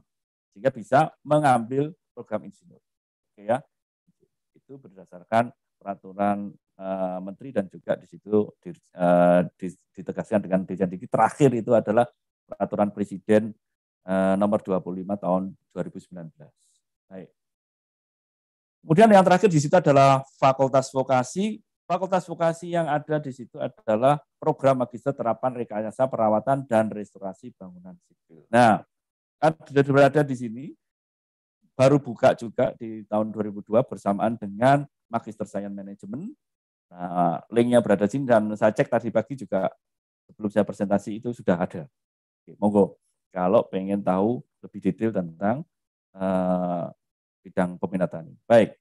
Nah, ini yang berikutnya. Jadi di kita, di kita itu program itu ada yang program RPL sama non RPL. Hati-hati di situ pemilihan mana yang RPL sama non RPL. Ya. Nah, kemudian ada kita bedakan juga di situ ada jalur. Jalurnya ada reguler, ada riset. Nah, untuk memilih jalur jalur reguler di situ otomatis nanti jalurnya ada reguler. Yang berbeda adalah riset. Nah, riset itu memilihnya di situ nanti adalah e, prodinya riset. Nah, itu ada pilihannya prodi riset, nah, berarti itu jalur riset. Ya. Nah, kemudian kelas. Kelasnya itu bisa tatap muka ataupun PJJ. Ya, PJJ yang dijelaskan Pak Prof. Heri tadi adalah mata kuliah. Nanti saya e, share lebih detail apa sebenarnya ketentuan tentang PJJ sehingga nanti dengan biar masuk wah ini masuk PJJ biar nggak gampang lagi atau masih ragu-ragu, oke ya. Baik. Kemudian di situ adalah ada beberapa program beasiswa. Ada fast track itu sudah dikeluarkan ITS, fresh graduate ITS. Nah ini yang di, sekarang eh, yang baru itu adalah fresh graduate itu bisa S2 dan juga S3. Kita punya kemudian nah, yang kita masuk ada researcher S2 dan S3 ini uh, masuk di sini. Kemudian ada juga PMDSU eh, di samping Dikti itu ada eh, PMDSU, eh, PMDSU dari ITS. Kita punya juga. Cuman PMDSU Dikti sekarang tidak buka karena kembali ke kitohnya, kembali ke kitohnya, kembali ke asalnya. Jadi dua tahun sekali. Jadi hanya tahun 2020 dan 2021 itu tiap tahun. Tetapi tahun 2022 itu tidak ada. Tahun 2023 insya Allah ada. Insya Allah, mudah-mudahan. Oke ya. Nah, oke ya. Kemudian ada LPDP. Nah, LPDP itu tahun ini ada dua kali. Yang sekarang yang satu sudah lewat, tapi sepertinya belum belum diwawancara. Enggak tahu ada mundur atau enggak tahu kayaknya pewawancaranya juga belum belum diseleksi. Baik. Kemudian yang kedua LPDP ini, nah timeline kita itu masuk. Jadi kita terakhir pendaftaran adalah uh, 17 Juli begitu. Pendaftaran kemudian diumumkan sekitar tanggal 22 begitu. Nah LPDP itu penutupannya sekitar tanggal 4, 4 kalau nggak salah atau tanggal 30 uh, Juli atau tanggal 4 Agustus sekitar itu sehingga masih masih masuk. Baik. Kemudian ada budidaya dari dan ada lagi satu ini adalah di samping itu ada sekarang adalah beasiswa eh, BPI, beasiswa Pendidikan Indonesia. Nah, cuman berakhirnya ini nggak selalu tentu. Jadi terakhir pengumuman itu sekarang ternyata tanggal 30 Juni. Sehingga eh, di kami sampai tutup eh, sebelum itu karena nanti akan ada ujian eh, sendiri untuk beasiswa BPI itu. Baik. Oke. Jadi ini uh, tentang RPL. Jadi apa itu RPL? RPL adalah pengakuan eh, rekognisi pembelajaran lampau singkatannya adalah pengakuan atas capaian pembelajaran seseorang yang diperoleh dari pendidikan formal atau non formal atau informal dan atau pengalaman kerja ke dalam pendidikan formal. Berdasarkan peraturan rektor, kalau peraturan rektornya adalah nomor 26 tahun 2018, ada juga peraturan dari Dirjen Dikti uh, lupa saya nomornya tapi ada di situ ditandatangani kebetulan dari orang ITS saya hafal namanya Pak Pak Pak Padono. Di pas zamannya Pak Padono ada tentang RPL itu. Nah, di situ ada menyediakan tipe A1, tipe A2 dan tipe B1. Nah, ITS itu baru menjelaskan yang menjelaskan adalah tipe A1 sama A2. A1 itu adalah metode pengakuan terhadap hasil belajar yang berasal dari pendidikan formal. Jadi kalau pendidikan formal itu A1, kalau non formal itu adalah A2. Itu bedanya. Ini. Jadi lintas bidang, lintas apa namanya? Eh, tidak sebidang atau lintas eh, eh, pendidikan, lintas akademik ya, lintas jenis namanya. Contoh misalkan D4 S, S, S2 atau S1 S2 terapan. Nah, itu maksudnya lintas jenis. Sedangkan atau pindahan. Oke ya, pindahan ini ini ter, tergantung masing prodinya masing-masing mau membuka atau tidak. Ya, setahu saya biasanya sampai harus kontak kaprodinya. Kalau kaprodinya iya, saya baru iya. Ya, karena saya berdasarkan kaprodi. Nanti saya buka, saya tidak mau menerima lah bahaya nanti. Oke ya. Nah, jadi adalah teman-teman kaprodinya. Kemudian lanjut tidak sebidang. Lanjut tidak sebidang itu contohnya di situ dari sampai misalkan S1 teknik fisika, mau masuk teknik elektro atau teknik yang lain. Nah, jadi tidak sama. Itu bisa. Itu namanya adalah tidak uh, sebidang. Itu yang disebut dengan RPL. Yang non RPL berarti ya sejenis. Teknik fisika ke teknik fisika, teknik kimia ke teknik kimia, statistik ke statistik. Nah, itu sejenis. Oke ya, gampang ya, clear. Oke, baik. Prof, mau tanya, Prof. Tes. Oke, oke. Misalnya ini langsung dari... ya, Pak Eri, ini langsung atau salam kenal? Uh, kayaknya nanti jadi satu ya, Pak. Biar diselesaikan dulu presentasinya. Oke, siap, siap. Oh, siap. Ya. ya. Oke. Ih, mohon maaf ya, Pak. Saya selesaikan dulu ya. Oke, kemudian A2, A2 tadi. Nah, termasuk profesi itu bisa menerima A2 dari pengakuan dan seterusnya.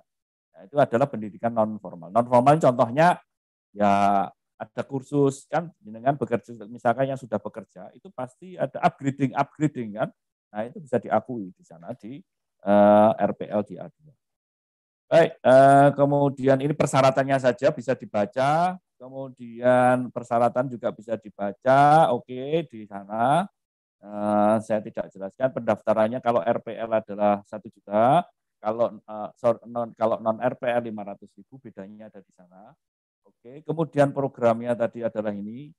Oke, ini saya lanjut. Nah ini, nah ini yang beasiswa yang ditanya ditawarkan Pak Eri tadi. Nah ini kita tawarkan ITS. Ya, itu mohon maaf sekali karena ini peraturan rektornya adalah dari ITS kemudian ini jadi lulus hanya untuk lulusan di ITS. Jadi kami buka untuk teman-teman yang eh, lulusan di ITS, kami menawarkan program beasiswa fresh graduate dengan persyaratannya.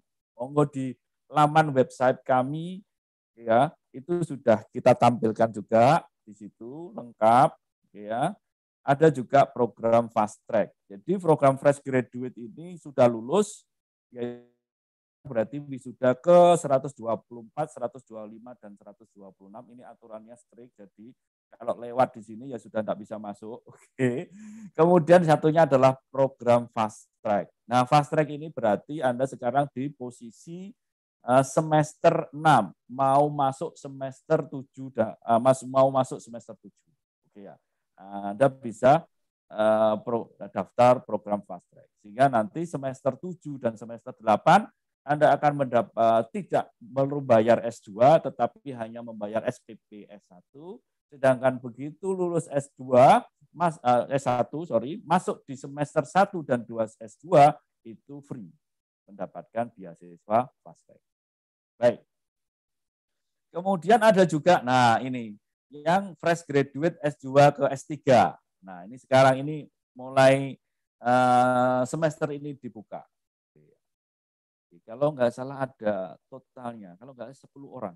Iya Pak Iri ya, betul ya? 10 orang ya ini ya? Iya, sementara untuk tahun ini karena baru pertama kita batasi 10. Ya, siap. Jadi PMDSU juga 10 ya? Oke. Oke, ini nggak nggak tertulis ya. Oh iya udah ada. Oh sorry, ini kuotanya 15, yang satunya 10 alhamdulillah.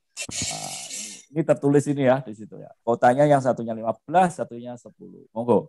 Ya, kesempatan ini diberi uh, di uh, dibuat maksimal. Oke ya. Oke. Dengan beberapa syaratnya ini jelas di sana. Baik. Kemudian persyaratannya saya lewati saja. Oke. Uh, bisa dituliskan di sana. Oke, syarat masuk bidang riset tadi sudah disebutkan Pak Heri. Nah, ini yang penting. Surat edaran Wakil Rektor Bidang Akademik Kemahasiswaan nomor eh, nomor 2829 sekian sekian. Oke, tentang petunjuk teknis pelaksana penyelenggaraan program kelas jarak jauh program pasca sarjana ITS. Yaitu tentang perkuliahan, capaian pembelajaran lulusan SPP Nah, ini yang penting. Perkuliahan non evaluasi dapat diselenggarakan 100% secara daring. Wah, lego sekarang Pak ya. Oke, Bapak Ibu ya. Oke. Perkuliahan PJJ reguler dapat dilaksanakan tersendiri atau digabung secara hybrid dan seterusnya. Ini itu yang reguler dan seterusnya ya. Oke ya. Nah, kalau ini kan kewajiban. Yang penting ini ya, 100% bisa dari. Baik. Kemudian tentang evaluasi. Nah, enak. Nah, kan kalau yang pengen di luar ini Pak, misalkan ini dibatas ini. Yang gerbang kertasusila nah, itu harus hadir evaluasi kecuali dengan alasan tertentu. Nah, bisa, Pak ini sedang kerja yang tidak tidak bisa ditinggal monggo itu diskusi dengan uh, dengan prodinya masing-masing. Uh, Oke. Okay. Tapi kan ini misalkan gini, biasanya teman-teman nih, mosok ini saya kuliah kok nggak tahu kampusnya. Kampusnya itu sekarang bagus dingin. Ya. Biasanya kalau saya masuk di Surabaya suhunya 35 derajat, masuk di ITS langsung 34 derajat. Lumayan kan? Oke ya. Nah, monggo. Biasanya itu uh, saya sendiri itu kalau ke kampus itu merasa segar gitu ya. Oke ya. Baik. Kemudian di situ pun uh, seandainya ada sesuatu pun ujiannya pun jenengan bisa online. Jadi, biasa. Kami sudah biasa menyalakan ujian. Biasanya kami uh, seperti dua bimbingan saya yang kebetulan uh, salah uh, apa, salah satu promotornya dari Amerika ya ujiannya online. Yang satunya atau hybrid begitu. Itu sudah biasa. Jadinya uh, di semua departemen itu insya Allah sudah difasilitasi fasilitasi fasilitas tentang uh, hybrid. Jadi jangan jenengan jangan khawatir. Oke, itu tentang PJJ. Clear ya sekarang? Oke, baik. Nah ini pendaftaran. Nah ini di pendaftaran ini penting. Biasanya sering sering uh, uh, sering juga ini. Nah pertama ini PIN KAP. PIN KAP itu masalahnya biasanya Pak saya sudah kok sudah daftar tidak dapat PIN KAP, tidak diklik biasanya. Nah tidak diklik kirim. Sudah diklik kirim Pak, enggak. Biasanya menggunakan emailnya teman-teman itu kan bukan emailnya kantor banyaknya. Banyaknya emailnya pakai Gmail. Nah Gmail itu selalu masuk di anu spam. Eh, mohon dicek itu nanti. Oke ya. Terus berikutnya, nah pada saat pendaftaran itu belum di, belum bayar itu biasanya langsung digunakan tidak bisa.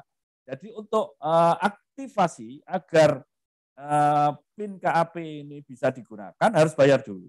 Oke ya. Terus PIN KAP ini jangan diberikan ke orang lain. Kalau ke panitia, misalkan ke saya kalau mau bantu, oke, insya Allah saya keep. Tapi kalau ke orang lain bahaya. Ya. Kenapa? Orang lain bisa menggunakan ini, ya, mengubah data Anda dan seterusnya menggunakan bahkan nanti, loh, saya kok nggak ada Pak. Loh, ternyata digunakan orang lain, pencurian. Loh. Walaupun selama ini belum ada kejadian ya, saya khawatir nanti kalau kejadian. Jadi di karena PIN KAP ini rahasia Anda, oke ya? Nah, rahasia Anda jangan diberikan ke siapa-siapa. Oke, orang yang tidak bertanggung jawab maksudnya Nah, kemudian mempersiapkan pendaftaran online dan seterusnya. Nah, ini kadang ini juga pendaftaran online ini Anda lihat baca nih. Kalau kartunya ini belum keluar, berarti Anda proses pendaftarannya belum selesai.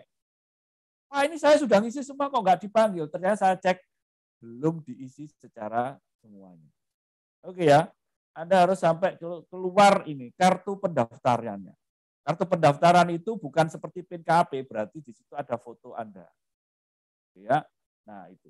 Nomor tes dan foto Anda keluar, nah itu baru pendaftaran dianggap selesai. Ya. Oke. Nah, biasanya anak manilan dulu saya tulis panjang begitu. Sekarang saya minta ke teman-teman sisi informasi, aku dibuatkan yang gampang. Biasanya anak milenial ini males baca. Kalau seperti ini kan gampang. Oke ya, ini saya buatkan yang sederhana. Nah ini contohnya ya. Ini saya buat, eh, sini ngambil. Nah ini daftar. Belum punya ya, klik di sini. Belum punya KAP dan BIN. Oke. Nah ini kalau yang RPL, nah ini milih nih. Ada pertanyaan, Pak, ini saya awalnya milihnya pengennya sarjana terapan magio, ternyata salah Pak saya gunakan magister terapan ke dokter, tidak apa-apa. Masih bisa digunakan. Clear ya? Oke. Karena ini adalah satu pin ini untuk semuanya. Ini. Bisa digunakan di semuanya. Sama jadinya. Oke. Tidak tidak bermasalah. Baik.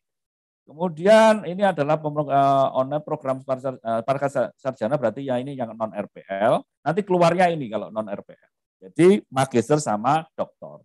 Oke ya. Nah, pilih kalau pilih magister atau di dokter di sana. Jangan keliru kalau ini. Kalau ini tidak boleh keliru. Nah, nanti Pak saya daftar magi, apa, uh, daftar dokter milihnya magister salah nanti. Biasanya uh, nanti uh, pada saat formulir pendaftarannya larinya ke magister. Nah, kalau ini dipisah. Kalau khusus ini jangan sampai salah. Oke ya. Oke. Nah, sudah daftar, dimasukkan begini, semua jadi, masuk. Nah, klik kirim, jangan lupa. Ini ada tombol kirim. Ini harus diklik ini. Kalau nggak diklik, nggak masuk. Nah, kemudian dicek di emailnya. Kalau email kantor biasanya tidak masuk SEPAM. Tapi kalau email Gmail atau yang lain, coba dicek di SEPAM. Biasanya di SEPAM. Oke ya? Oke. Nah, kalau sudah dapat, dapatnya seperti ini ya. Oke ya. Oke. Nah, kode bayar ini untuk bayar ke bank. Oke ya. Kode bayar ini adalah untuk kode bank. Nah, PIN dan KP ini untuk autent, autentifikasi sehingga Anda dapat masuk ke sistemnya. Akan aktif setelah dibayarkan di. Uh, saya sarankan jangan akhir-akhir. Biasanya banyak bermasalah di akhir-akhir satu. Yang kedua, tolong kalau bisa dihindari ATM. Karena ATM itu ternyata sistemnya kadang tidak bagus. Jadi katanya dananya sudah tertransfer tapi itu salah. Oke ya. Saya nggak tahu, saya nggak menyebut banknya apa, ya, tapi semua bank ada kemungkinan seperti itu. Nggak tahu saya. Nah, mending kalau transfer lewat di situ adalah eh, apa namanya internet banking atau yang lain, atau langsung datang ke teller itu lebih aman. Oke ya. Ke ATM itu hati-hati sekali. Nah, kalau terjadi kesalahan itu kadang itu waktu pembenahannya itu cukup lama kemarin itu. Saya butuh waktu sekitar satu minggu. Kenapa? Kadang lebih karena berhubungan dengan teman. Ya, baik. Nah, terus kemudian sebaiknya jangan mengambil bukan sebaiknya. Anda harus mengambil PIN KAP itu untuk semester yang berjalan. Jadi misalkan tahun lalu Pak, saya punya PIN KAP tahun lalu jangan dipakai, tidak bisa dipakai ya harus semester ini. Nah, itu untuk gelombang satu dua bisa karena dalam satu semester berjalan. Oke. Oke, kemudian nah kalau pada saat ngisi, nah sudah ini mengisi di sini. Oke ya. Nah, kalau ada sesuatu, monggo silahkan tadi di apa namanya di teman-teman itu ada pasca email maupun eh, teman-teman di pasca nomornya sebagai informasi tadi kalau ada salah nanti dibahas. Nah ini Nah, monggo di pasca WA online ini atau yang di pasca email nanti insya Allah akan dilayani eh, oleh teman-teman. Nah, ujung-ujungnya kalau teman-teman ini kebingungan juga larinya ke saya. Oke ya. Oke, mungkin itu yang bisa saya sampaikan. Nah, lupa saya. Kuis lagi. Wah, kuis ini. Sebelum saya tutup ini ada kuis. Siap. Siap-siap. Cepet-cepetan. Pertanyaannya gampang sekali. Oke ya, pertanyaannya gampang. Pertanyaannya, nah pertanyaannya, pertanyaannya, ada berapakah program S2 di ITS? Oke, tadi sudah saya klarifikasi. Oke, monggo silakan.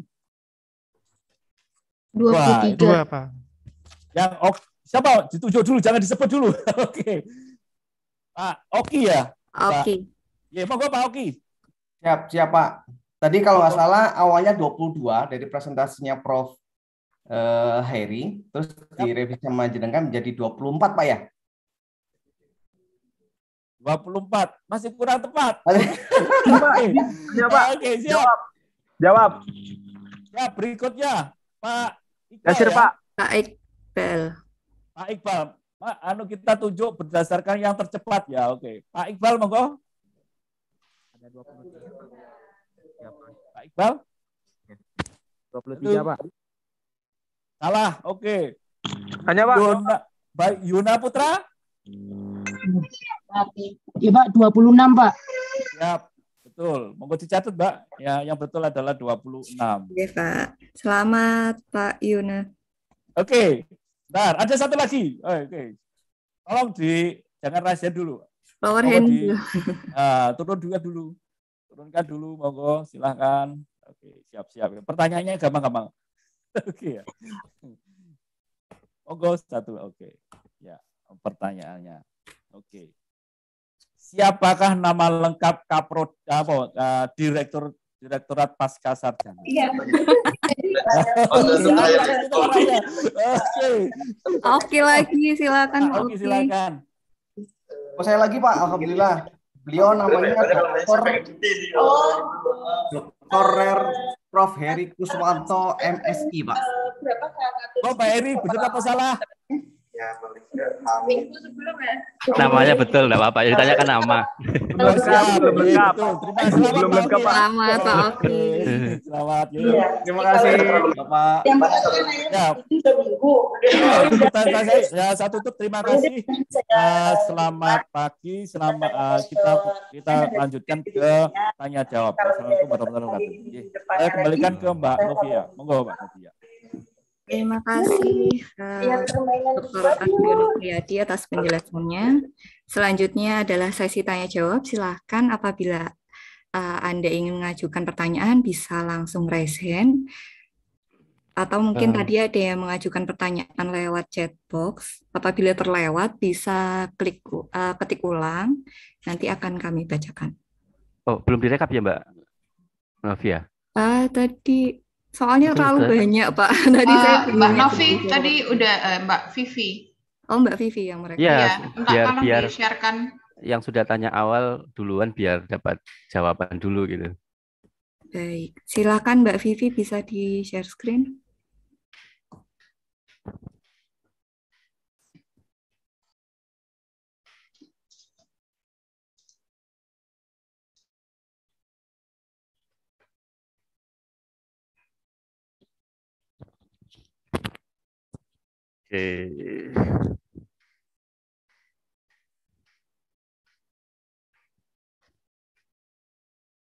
Yang sudah dijawab mungkin tidak perlu kami eh, utarakan ulang ya Bapak, Ibu, kecuali yang mungkin memang perlu stressing begitu ya.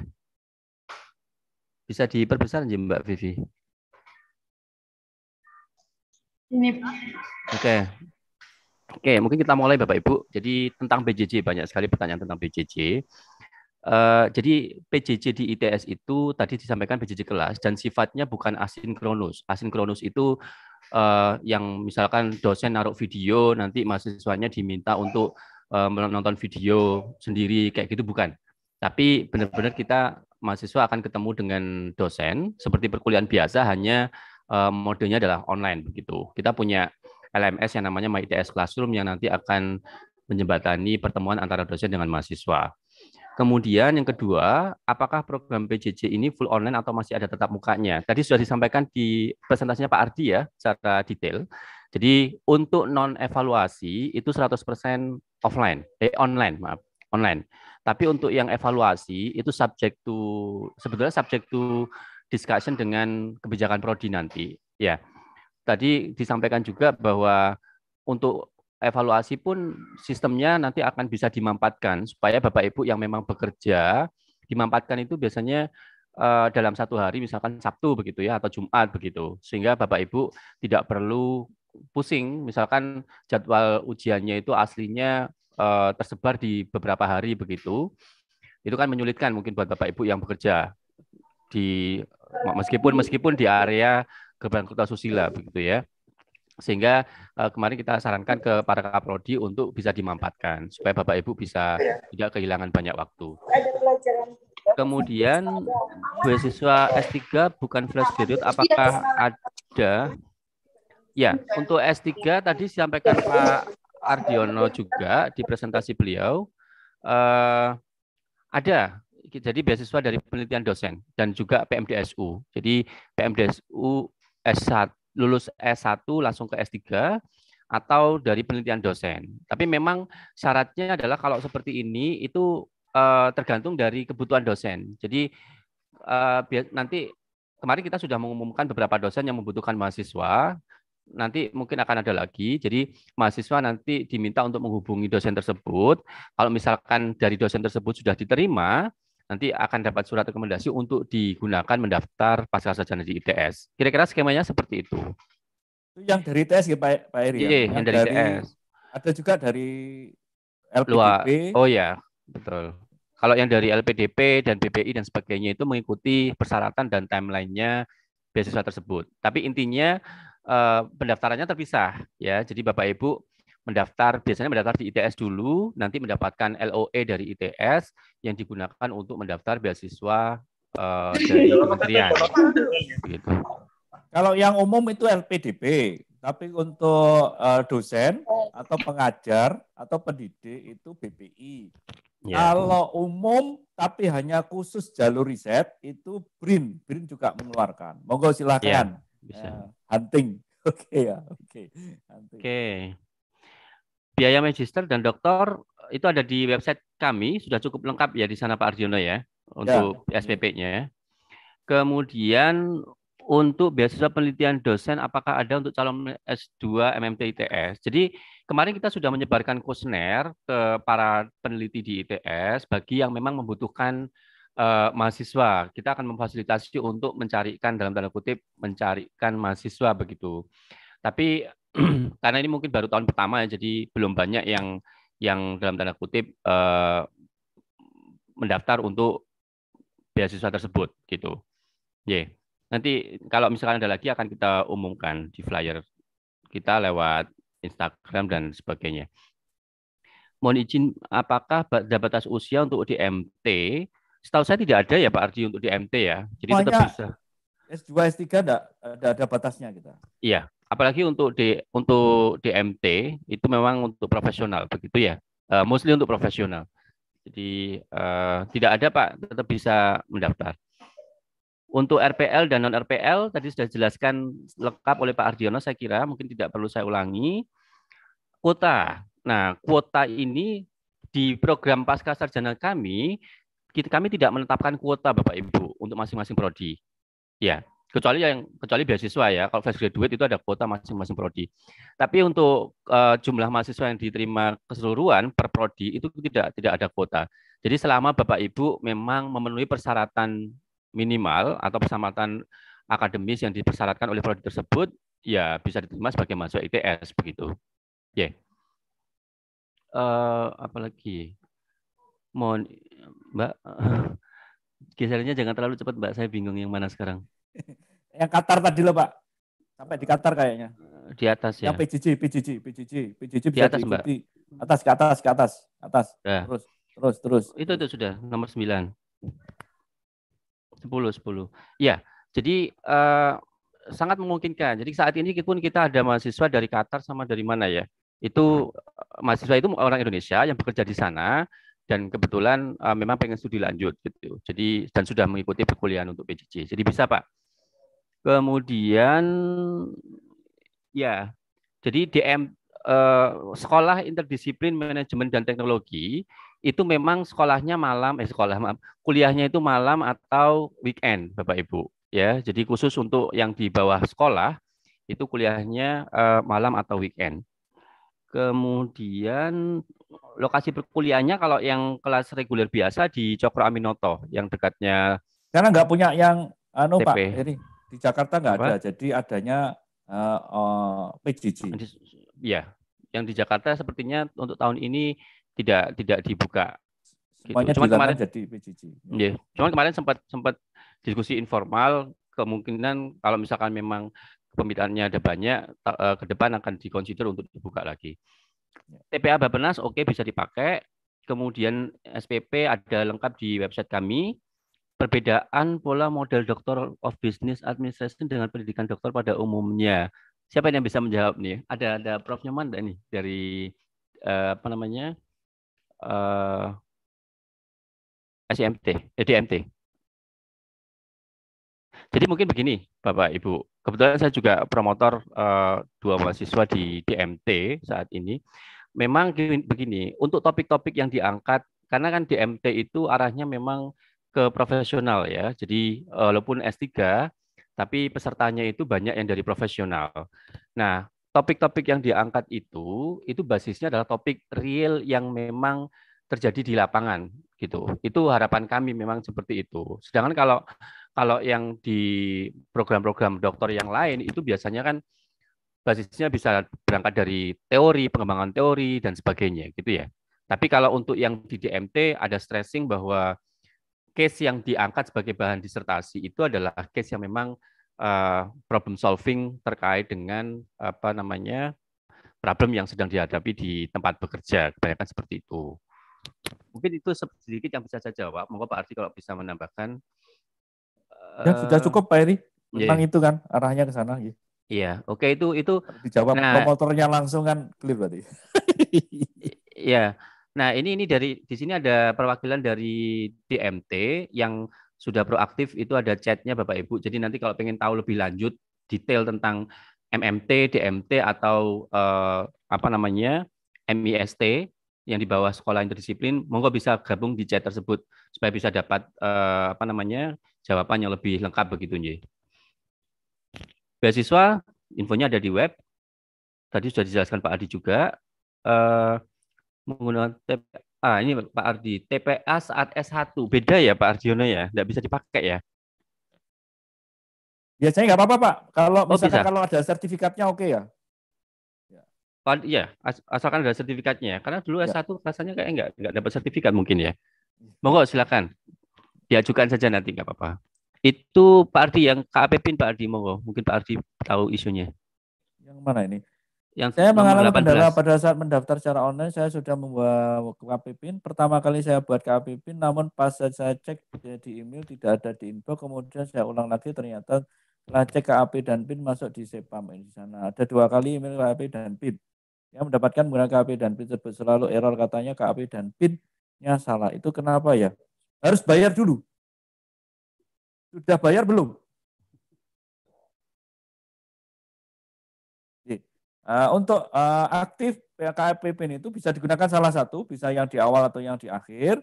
Uh, untuk mengaktifkan itu harus dibayarkan dulu dengan kode pembayaran yang saya jelaskan tadi. Ye. Mungkin itu Pak Edi. Oke. Monggo. Kemudian untuk DMT pilihannya RPL atau non RPL, jadi khusus untuk yang di bawah sekolah interdisiplin, baik S2 maupun S3-nya itu milihnya yang non RPL karena mereka tidak punya S1 ya. Jadi dan mereka memang multidisiplin jadi bisa menerima dari background apa saja sebetulnya seperti itu. Ya, ya. Jadi non RPL pilihannya. Kerjasama, monggo eh, di web itu ada nomor WA yang bisa dikontak Pak. Biasanya nanti akan ada pertemuan begitu dengan dengan kami untuk eh, kira-kira follow up-nya harus seperti apa gitu ya terkait dengan rekrutmen, kemudian berapa yang dikirim dan sebagainya. Kemudian, nah Pak Ardi ini ternyata BPI ditunda 30 Juli ya. Enggak apa-apa. Enggak Nggak apa-apa. Pak. Oke, nanti tetap kita fasilitasi. Intinya intinya kita akan tetap memfasilitasi kebutuhan Bapak Ibu semuanya gitu ya. Monggo di kalau misalkan nanti memang butuh LOE kapan begitu bisa disampaikan ke kami.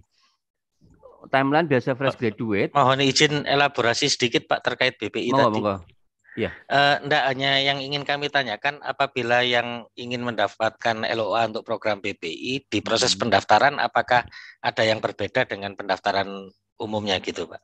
Oh, tidak ada, tidak ada. Tidak ada, sama. Iya, Sama. Ya, cuma nanti Oh, sama memang persis. kita terbitkan LOE. LOE pun itu sama bisa digunakan untuk mendaftar beasiswa apa saja gitu. Karena tidak menyebutkan eh, ke- keperluannya untuk beasiswa apa begitu. Nggih, nggih. Terima kasih Cuman Bapak. memang memang ini ada sih Pak Ardi ya, nyentang nyentang minta LOE ya Pak Ardi ya. Ya ada di pendaftaran itu ada centangnya minta LOE Bapak Ibu. Jadi Iya.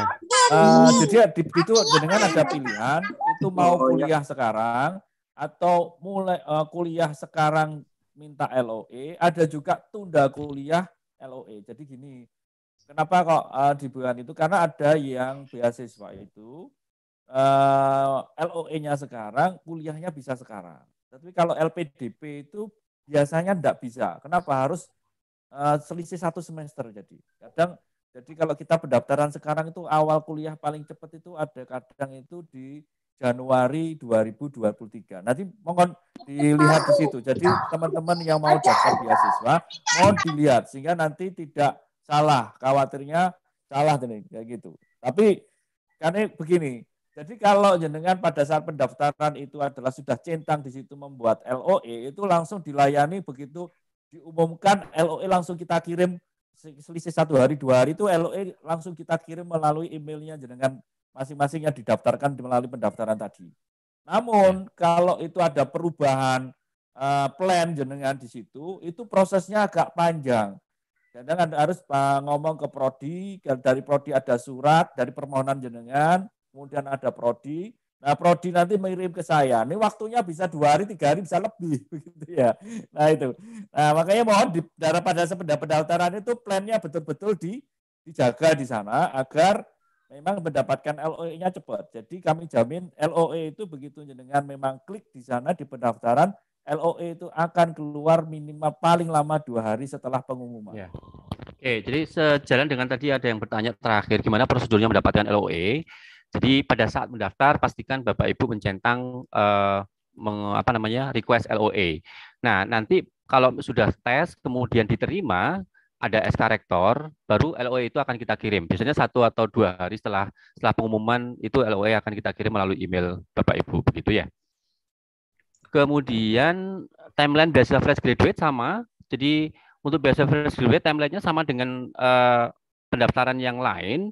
Hanya saja memang syaratnya karena apalagi yang belum lulus ya, yang akan lulus besok September itu uh, memang belum punya ijazah dan belum yudisium. Jadi yang kita sebagai pengganti ijazah nanti Anda hanya perlu menulis surat pernyataan bahwa Anda akan lulus uh, pada September gitu. Nanti otomatis pada saat yudisium akan kita verifikasi Anda jadi lulus atau tidak gitu.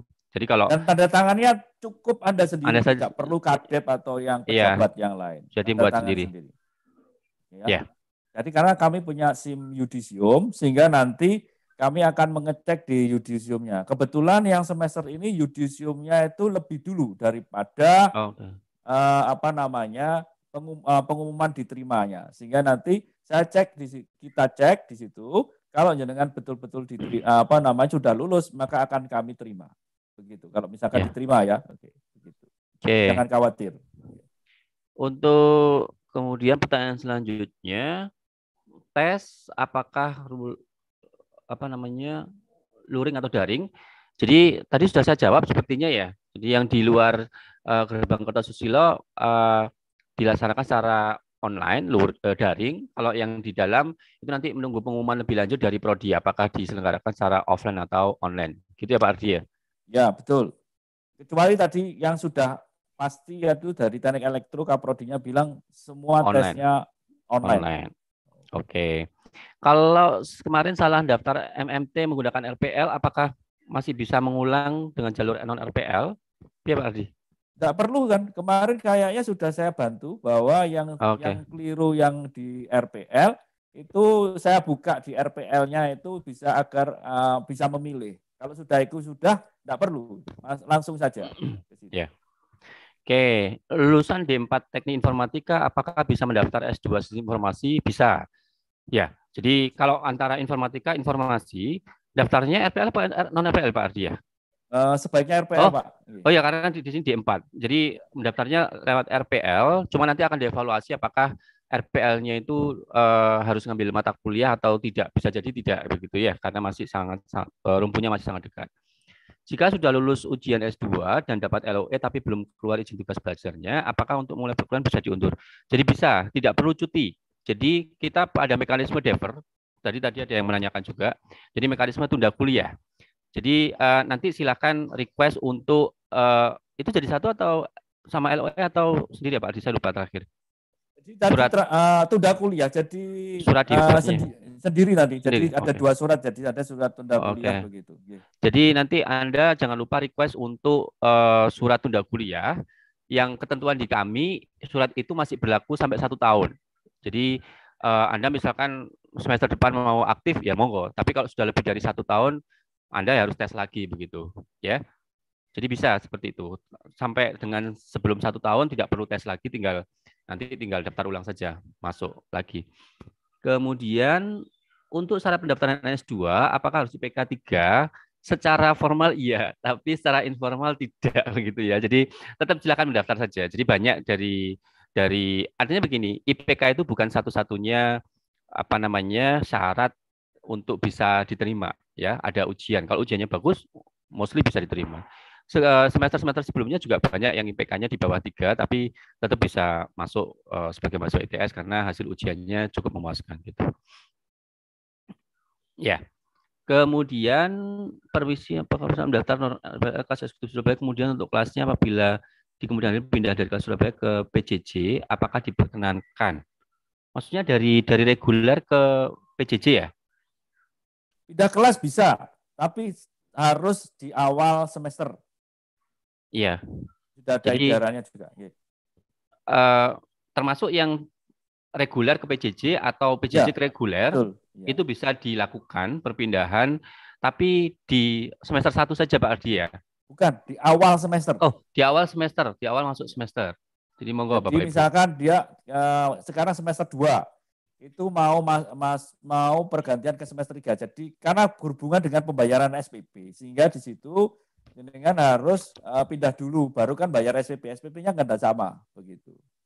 Eh, takutnya kan SPP-nya kemahalan atau kurang dan seterusnya sehingga nanti walaupun eh, kalau kelebih bayar itu bisa ditarik ulang eh, kalau kurang juga ditagihkan nah itu tapi proses administrasinya kan panjang ya Nah, untuk membantu kami dan seterusnya itu boleh diizinkan kalau di awal semester setelah eh, pada saat semester berjalan itu tidak boleh kenapa Eh, berhubungan juga dengan PD Dikti. Kenapa? Karena kalau sudah kelasnya dilaporkan, itu nanti eh, harus buka periode. Itu akan men- menambah jalannya apa namanya kesulitan di dalam administrasi. Sehingga di situ kami sudah membuat edaran bahwa boleh pindah kelas itu adalah sebelum semester berjalan. Jadi di awal semester sebelum semester itu berjalan. Ya. Oke. Mohon info dari jurusan Teknik Konstruksi Perkapalan atau Naval Stek itu masuk RPL atau NPL mengingat program FTK hanya buka program S2 Teknik Siskal. Sekarang sudah ada Teknik Kelautan ya Pak Ardiono ya? Ya semuanya sudah ada sekarang. Sudah ada semua untuk tahun yang akan datang ini. Jadi sudah dibuka. Jadi eh, itu masuknya RPL atau RPL Pak Ardi? Ya kalau Kalau kalau kalau departemennya sama eh, non RPL. non RPL. Ya. Untuk beasiswa penelitian dosen, mekanismenya seperti apa? Jadi tadi nanti akan ada pengumuman dari kami begitu ya terkait dengan kesempatan eh, dosen-dosen yang membutuhkan mahasiswa. Kemudian nanti di situ calon mahasiswa yang tertarik menghubungi dosennya untuk berdiskusi dan selanjutnya kalau diterima oleh dosen tersebut dapat rekomendasi dan ikut digunakan untuk mendaftar di S2 atau di S3 begitu. Apakah bisa mendaftar penjelasan Eh, sepertinya kalau kalau beasiswa dosen ini karena requ- requirement-nya adalah berhubungan dengan penelitian sebagai sebagai apa ya kompensasinya adalah Anda harus full aktif di penelitian sepertinya tidak dosen tidak menginginkan yang dari PJJ begitu ya terutama PJJ profesional. Kayaknya yang reguler atau by riset gitu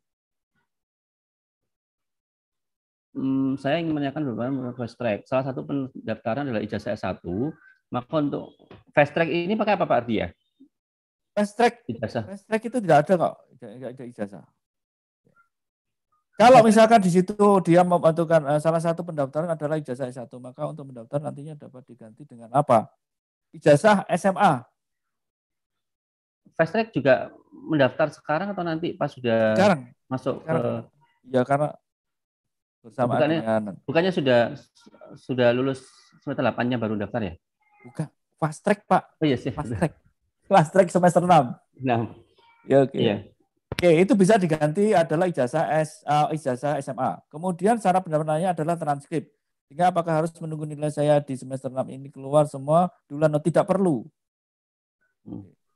Kemudian Oke. kemudian untuk pemberkasannya apakah juga memerlukan nilai TPA? Ya, nilai TPA-nya.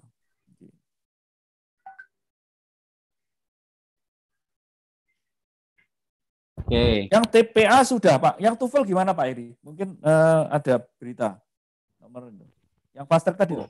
Untuk fast track TOEFL. Ya, enggak. Jadi tadi di bawahnya fast track ada pertanyaan juga bahwa Oh. itu bagaimana pendaftaran TPA sama TOEFL. Kalau TPA sudah oke, sudah enggak. Nanti berhubungan dengan Mas Rukin. Mas Rukin, Oh. monggo anu, TOEFL. kalau TPA Oh, iya. di-share nomor nomornya Mas Rukin. Eh, Iya. nomor HP-nya. Ya, untuk yang mau tes TOEFL bagi yang belum punya itu eh, UPT bahasa ITS itu akan menyediakan fasilitas. Kebetulan dalam minggu depan kita akan ada koordinasi dengan UPT Bahasa. Tapi sekali lagi bahwa TOEFL yang kita sarankan tidak harus dari ITS Bapak Ibu ya. Keunggulannya hanya begini. Kalau Bapak Ibu menggunakan tes TOEFL dari ITS yang nanti misalkan nilainya itu eh, memenuhi standar kelulusan, maka itu bisa digunakan sampai yudisium. Jadi Bapak Ibu nanti pada saat mau lulus tidak perlu tes lagi. Tapi kalau Bapak Ibu menggunakan tes TOEFL dari luar, maka itu tidak berlaku untuk yudisium. Paham ya Bapak Ibu ya? Jadi ketentuan di ITS saat ini, mohon maaf, memang kita membatasi untuk yudisium itu tes TOEFL-nya harus didapatkan dari UPT Bahasa ITS begitu. Sehingga tes TOEFL yang didapatkan pada saat masuk S2, seleksi masuk S2, kalau itu dari ITS bisa digunakan nanti untuk yudisium jika nilai minimumnya terpenuhi. Gitu. Kemudian terkait double degree dan exchange. Double degree dan exchange begini. Jadi ada memang prodi yang punya double degree dari awal seperti uh, trans Transla. Transla itu dengan dengan Belanda itu mereka programnya memang double degree dari awal. Kemudian hanya Transla saja ya S2 Pak Adi ya? Apa satunya? Teknik teknik uh, sistem perkapalan. Iya.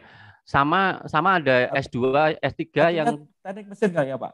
Teknik mesin juga punya kayak. Oh iya dengan Wismar ya? Ya. Itu bukan S1 ya? Saya lupa. Dua kayak. Nanti nanti dicek aja mungkin ya. Tapi begini, ada juga S3 kita dengan misalkan Kumamoto sipil arsitek itu juga pendaftaran double degree-nya di awal. Jadi, uh, tapi kebanyakan dari prodi-prodi di ITS yang punya double degree itu skemanya adalah uh, semester 3 baru mulai. Jadi nanti di semester 2 itu akan dibuka pendaftaran oleh prodi untuk program double degree. Sehingga Bapak Ibu yang yang dinyatakan lolos double degree nanti semester 3 berangkat ke uh, mitra begitu untuk kuliah di sana sampai lulus. Kemudian jika kami gabung PJJ eksekutif, namun jika hari Sabtu bisa pulang ke Surabaya, apakah bisa join on class? Ini kebijakan dari prodisi sebetulnya. Nanti tinggal bisa, izin aja. Izin, bisa. bisa. Ya, pengen pengen nyambangi ITS kan gitu ceritanya ya. Iya, bisa ya. bisa. Izin bertanya untuk syarat pendaftaran S2 apakah TOEFL harus di atas 477 atau RPL A1 karena kebetulan skor TOEFL saya bisa Pak. Jadi uh, ya monggo. 477 itu belum kan? Kita belum berlaku 477 kan untuk pendaftaran sekarang? Masih 450 450 masih eh Bisa. kalau yang S3 Pak. 4 S3 477 Pak. Itu daftar S2 soalnya. Oh kalau S2 nggak apa-apa.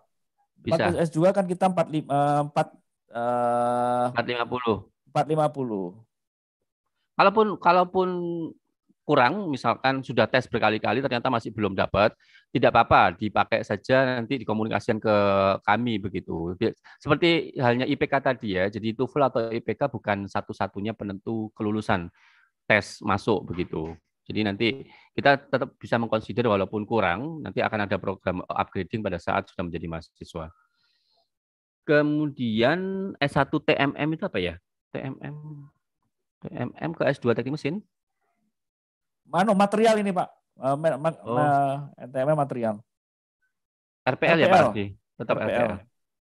Jadi by default sebetulnya kalau prodinya itu berbeda dengan antara S1 S2 itu masuknya di RPL Bapak Ibu. Ya. Cuman perkara nanti apakah ada tambahan mata kuliah atau tidak itu sesuai dengan hasil tes.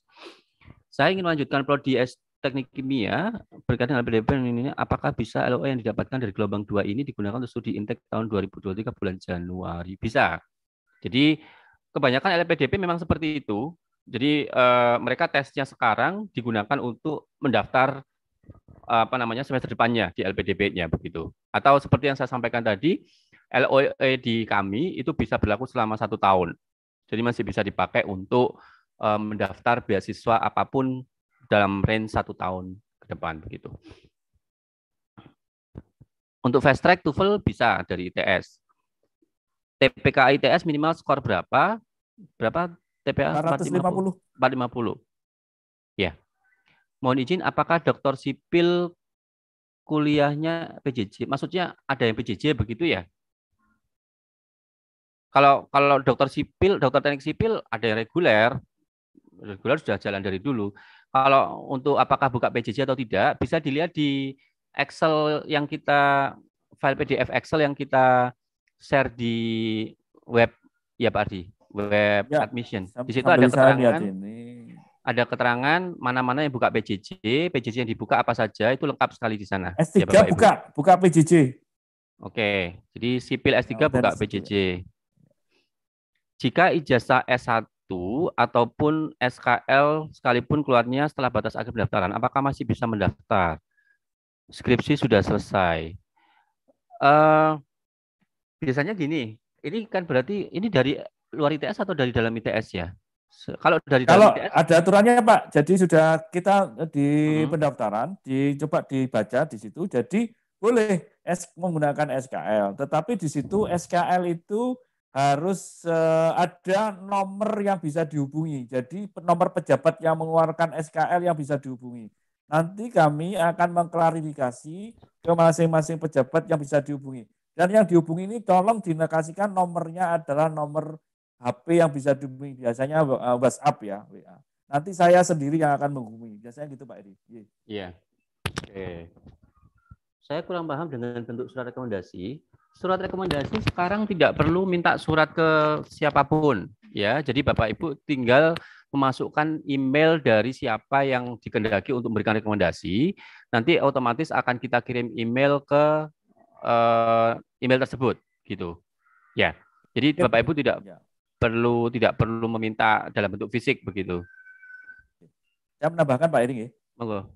Nah, yang rekomendasi ini Bapak Ibu hanya menuliskan email eh, siapa orang tersebut yang merekomendasi, nama dan email. Nah, mohon dipastikan emailnya itu betul dan aktif yang satu. Yang kedua, Bapak Ibu harus mengkonfirmasikan ke pemberi rekomendasi. Jadi misalkan jenengan klik sekarang berarti itu langsung dikirim otomatis. Nah, dikasih waktu dua hari jadi. Artinya di situ Bapak Ibu monggo. Jadi kontak ke, ke pemberi rekomendasi. Pak ini eh, sudah sudah saya daftar. Mohon dicek emailnya. Nah begitu. Nah itu adalah tem- ini yang kita gunakan adalah sama persis dengan yang di- digunakan di teman-teman di luar negeri. Sehingga eh, kedekatan eh, Bapak Ibu di dalam dengan pemberi rekomendasi itu akan terlihat dari komunikasi emailnya itu. Oke ya, oke. Baik. Biasanya tuh eh, pokoknya emailnya dimasukkan itu, tapi pemberi rekomendasi tidak diberitahu, ya nggak tahu jadinya. Anda harus komunikasi terus, gitu ya. Oke. Ya belajar eh, memberikan apa eh, berkomunikasi dengan atasan atau bawa apa teman-teman yang memang untuk memberi rekomendasi. Oke, monggo silakan. Oke. Itu Pak Eri pesan Ya, saya. Makasih.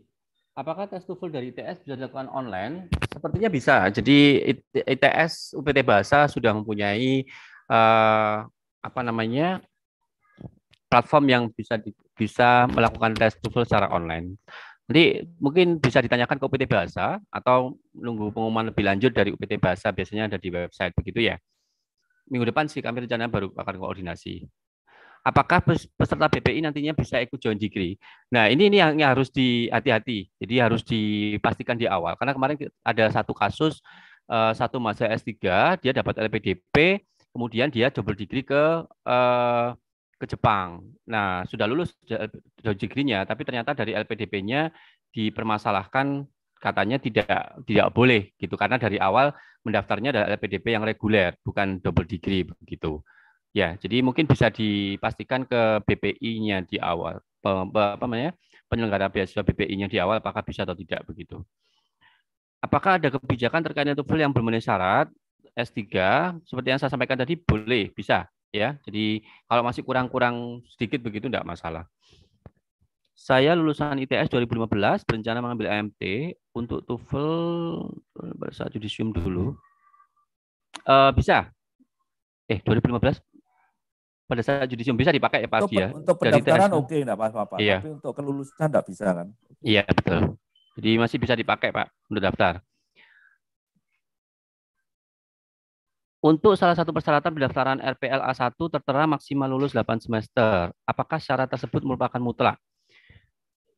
Maksudnya eh Yang dia lulus lebih dari 8 semester, Pak. Lulusnya 9 semester atau 10. no. S1-nya maksudnya. Iya.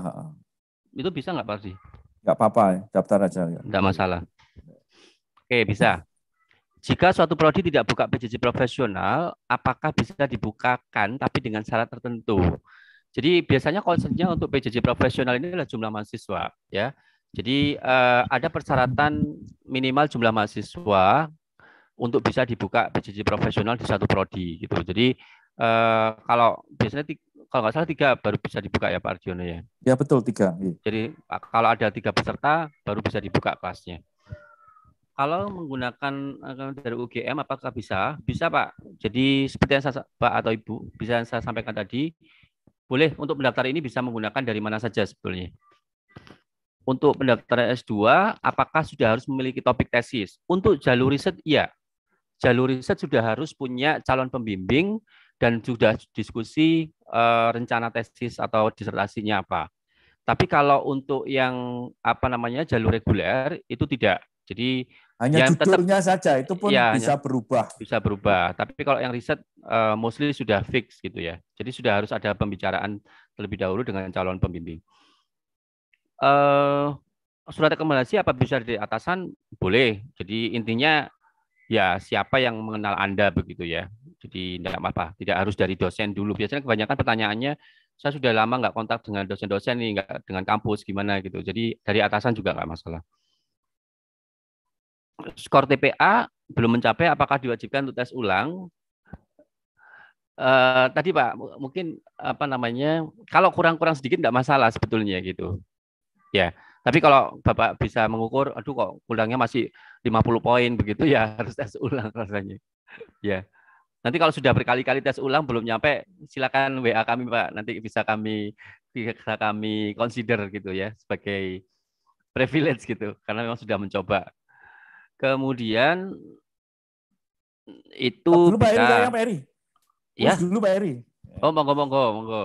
Eh, mungkin dari teman-teman dari Pak teman pasca sarjana punya pertanyaan monggo silakan Mbak Jasinta, Mbak Novi, Mbak Vivi. Baik, Pak, akan saya share mengenai kuis untuk door prize-nya. Oke, sip.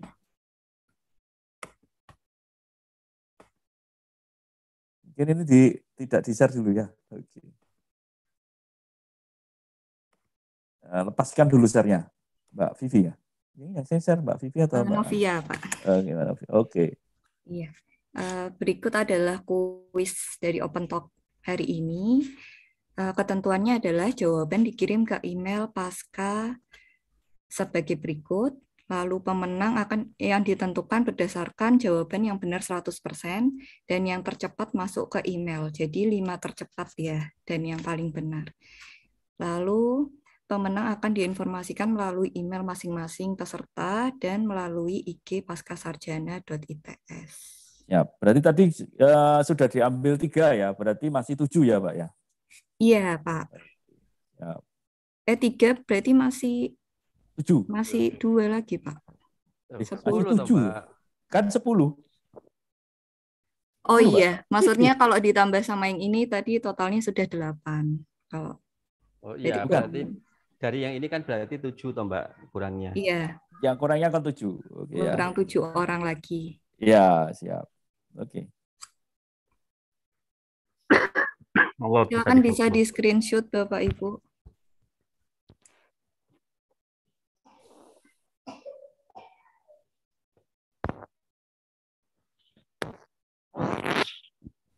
Oke, sudah ya? Clear ya? Kita lanjutkan. Pertanyaannya masih banyak nih. Iya, pertanyaan masih banyak.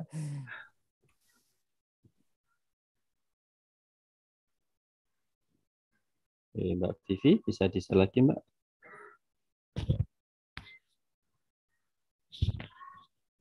Oke. Saya pernah tes TPA November 2019, bisa Pak dipakai saja itu yang kalau dari ITS. Kemudian izin bertanya untuk fast track. Pak di fast track itu kan syaratnya memang 120 SKS ya. Ya, betul. Ya. Mungkin dari apa ya? eh, nanti nanti akan ada verifikasi sebetulnya. Jadi daftar saja dulu enggak apa-apa. Pada saat nanti nilainya sudah keluar semua, kalau misalkan memang apa namanya ternyata ada mata kuliah yang nggak lulus dan tidak mencapai 120 ya terpaksa kita harus drop Anda dari dari apa namanya mahasiswa begitu. Sama halnya dengan yang fresh graduate ya. Anda sudah sudah mendaftar kalau misalkan ternyata saat judisium itu nggak lulus, ya terpaksa uh, Anda harus drop dari S2 yang beasiswa fresh graduate itu gitu. Ya.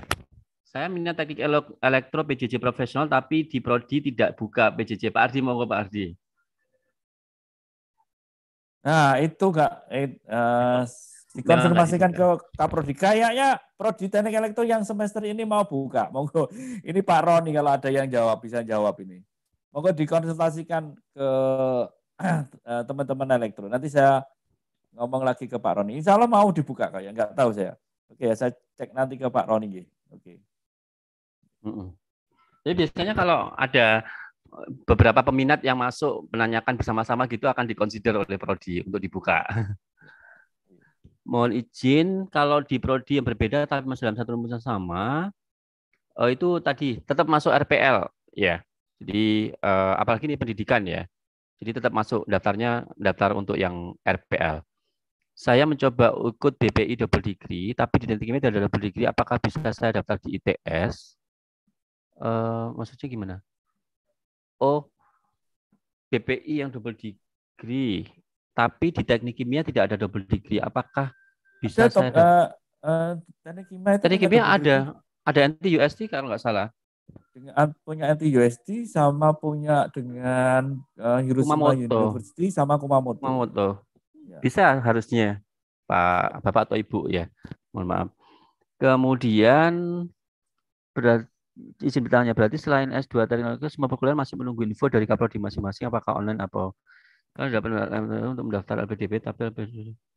Loh, kalau sudah sudah mendapat LOE kan berarti sebentar.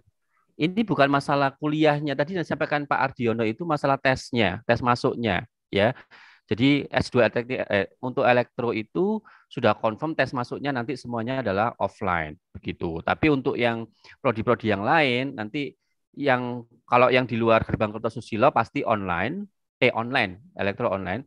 Uh, tapi yang di dalam area gerbang Kertosusilo itu masih nanti akan diumumkan oleh kaprodinya apakah ujiannya itu offline atau yang nomor online. 64 itu 4. izin ber 64 ini sampai Pak. Iya, heeh.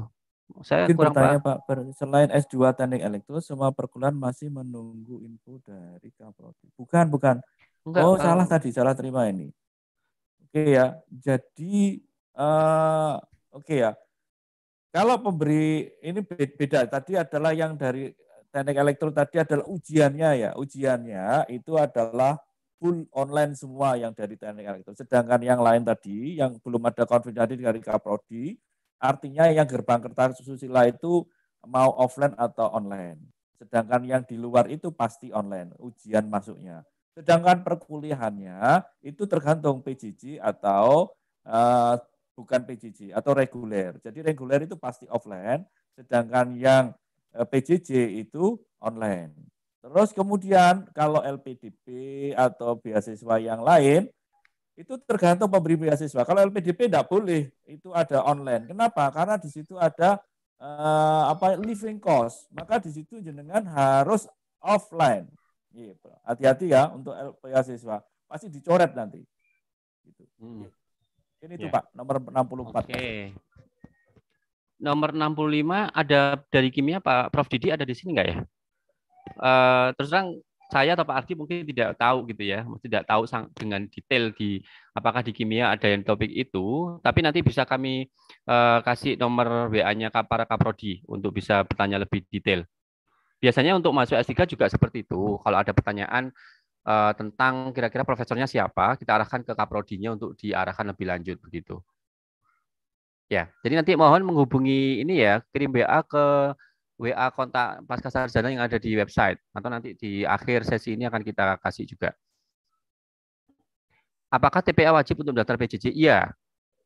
Jadi uh, itu syarat administrasi TPA TOEFL itu memang harus ada di awal pada saat mendaftar. Hasil EFL ITS 2027 boleh boleh dipakai.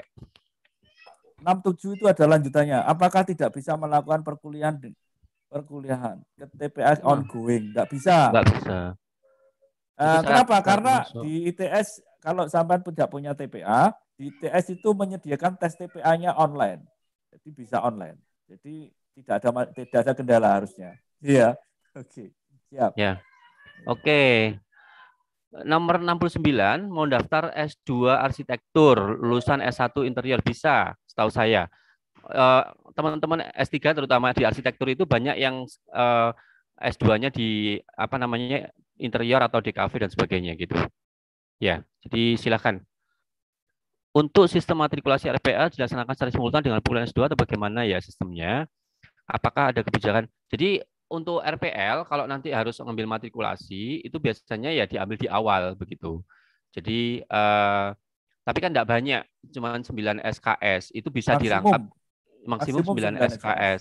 Itu bisa dirangkap dengan eh, kuliah S2-nya. Jadi misalkan satu mata kuliah atau kalau misalkan di statistik itu tidak harus di semester pertama semua. Ada yang bisa diambil di semester du- kedua karena memang mata kuliahnya ditawarkan di semester kedua untuk matrikulasinya. Jadi semester pertama misalkan ambil 6 SKS ditambah dengan mata kuliah S2-nya, kemudian baru nanti sisanya diambil di semester kedua. Kira-kira begitu.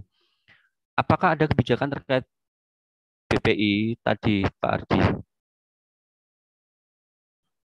Kalau masalah kalau masalah pembayaran, asalkan Anda sudah lulus nanti nggak ada masalah. Jadi itu sudah urusannya nanti antar institusi. Nanti biasanya dari BPI yang akan menghubungi ke ITS, misalkan eh, terkait pembayaran ya. Jadi misalkan ada keterlambatan dan sebagainya itu nanti eh, biasanya dari institusi pemberi beasiswa otomatis akan koordinasi dengan ITS begitu. Jadi eh, mungkin bisa saya jelaskan gini, tambahkan ke Pak Heri. nggih. Jadi begini, untuk beasiswa-beasiswa ini, entah itu BPI, entah itu BRIN ataupun LPDP, itu sam- eh, sampean itu dikasih nanti namanya letter of guarantee atau LOG atau namanya SK, terserah apa namanya, SK penerimaan. Dengan melampirkan SK penerimaan atau LOG itu, yang diupload di pendaftaran, bukan di pendaftaran, tapi di eh, apa namanya SIPMABA atau di situ SIM eh, daftar ulang. Nanti kalau saya sampai daftar, kemudian adalah di setelah eh, telah dikatakan selesaikan masuk itu ujian masuk selesai, kemudian diterima, maka pada saat ngisi SIPMABA itu anda mela- me- melampirkan itu, mengupload itu ada nanti, ada tempatnya upload itu. Dengan nanti kita verifikasi sehingga anda tidak perlu membayar. Jadi di situ kita nolkan istilahnya sehingga eh, nanti pembayarannya adalah kami akan menagihkan ke masing-masing institusi itu yang mengeluarkan beasiswa. Dan BPI, kemudian LPDP dan BRIN itu sudah bekerja sama dengan kita sehingga eh, kita nanti yang akan eh, melakukan penarikan dana ke teman-teman BPI, LPDP maupun di BRIN. Begitu caranya. Jadi jangan khawatir. Oke ya. Ya. Oke, mungkin bisa lanjut yang ke raise hand ya. Masih ada yang raise hand atau sudah terjawab semua? Atau sudah cukup? Mungkin kalau ada monggo silakan. Itu ada masih Bimo Aji itu Pak Heri. Monggo. Pak Bimo. Silakan Pak iya, Bimo. eh, mohon izin eh, Prof ini mau tanya tadi terkait dengan BPI. Nah, eh, itu tadi kan eh, saya lihat timelinenya kan masih untuk pengisian SIP maba itu 5 sampai 14 Agustus. Sedangkan untuk eh, kondisinya nanti kalau in case kita masih proses seleksi itu kan belum ada surat penerimaan beasiswa. Itu bagaimana nanti eh, apakah ada kebijakan sendiri gitu antar institusi gitu. Oh, pengumumannya ya Pak Ardi. Iya, karena masih saya tanyakan tuh masih timelinenya masih belum ada gitu. Kayak segera-segera gitu aja. Baiknya tunda kuliah aja Pak, nggak apa-apa. Jadi jenengan tunda kuliah, jadi kuliahnya tidak semester ini, tapi semester depan. Itu kalau memang masih ragu nih. Kalau Kalau Iya, iya. Eh, kalau dulu ada case begini juga Pak. Jadi eh, kalau mahasiswa mau ngalahi begitu ya, dia membayar dulu eh, semester satu semester ini gitu. Nanti akan bisa direimburse oleh BEP. Kalau misalkan beasiswa diterima, apalagi kalau Bapak misalkan PD bisa diterima beasiswanya, nanti uang itu bisa dikembalikan. Gitu. ya, Ada, Pak. jadi ya kalau itu kan kasusnya kalau sudah diterima Pak. Takutnya nanti dia nggak diterima kan banyak. Nah, itu. Ya, mak- makanya saya sarankan gitu. Tapi kalau yakin jenengan diterima, itu bisa sendiri, tapi nanti biasanya dirembus. Kalau yang teman-teman LPDP, yang yang BPI ini kan harusnya mekanismenya bisa dirembus juga. Sama Jadi kok, yang teman BP yang BP, level DP itu biasanya mereka teman-teman itu kadang pengen sendiri, itu biasanya bayar sendiri kemudian minta rembus ke LPDP. Bisa seperti itu. Iya. Monggo sikan uh, yang jenengan pikirkan yang terbaik menurut jenengan mana gitu. Iya. Oke, terima kasih, Prof. Silakan. Izin sedikit mena- menambahkan terkait tadi Pak elaborasi sedikit Wah. yang terkait eh, barusan yang ditanyakan Pak Bimo Aji Bapak. Kan tadi Bapak menganjurkan untuk eh, tunda kuliah. Misalkan kita di form pendaftaran itu sudah tunda kuliah, ternyata tadi se- eh, sebagaimana dikhawatirkan Pak Bimo Aji kita eh, diterima berarti tidak jadi tunda kuliah tidak apa-apa itu Pak ya? Atau harus tunda kuliah? Oh. Harus tunda kuliah, Pak, karena eh, proses administrasinya kan sudah berjalan. Dan itu pada semester yang semesternya sudah berjalan. Kalau semesternya sudah berjalan, dengan masuk nanti eh, kita yang kesulitan di dalam administrasinya. Eh, mohon maaf untuk tunda kuliah itu di awal Pak ya, eh, di setelah diterima menyatakan tunda kuliah atau Iya. waktu kita ngisi form pendaftaran tunda kuliahnya itu? Eh, Setelah diterima. Bisa dua, Pak. Bisa dua mekanismenya.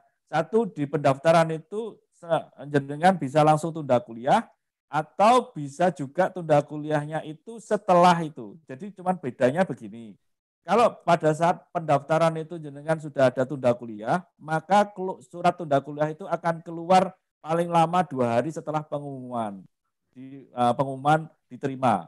Tapi kalau tunda kuliahnya adalah uh, menggunakan mekanisme yang lain, berarti nanti mekanismenya dengan menga- mengajukan ke prodi, prodi akan mengirimkan ke kita, mungkin waktunya agak lama, mungkin butuh waktu sekitar lebih dari dua hari. Nah itu bisa Pak, monggo silahkan. Ada dua dua mekanisme memang begitu. Iya. Eh, sedikit satu lagi Pak terkait satu tahunnya itu berarti eh, sampai kalau sekarang gasal 2022 berarti sampai gasal tahun berikutnya gitu Pak. Ya betul. Matur nuwun sangat. Monggo. Eh, cuman cuman mungkin nanti kami cek lagi kalau nggak salah kemarin tesnya untuk yang BPI ada yang seperti itu Pak Ardi ya. Eh, apa namanya dia sudah maksudnya ya pengumuman BPI-nya juga agak lambat begitu.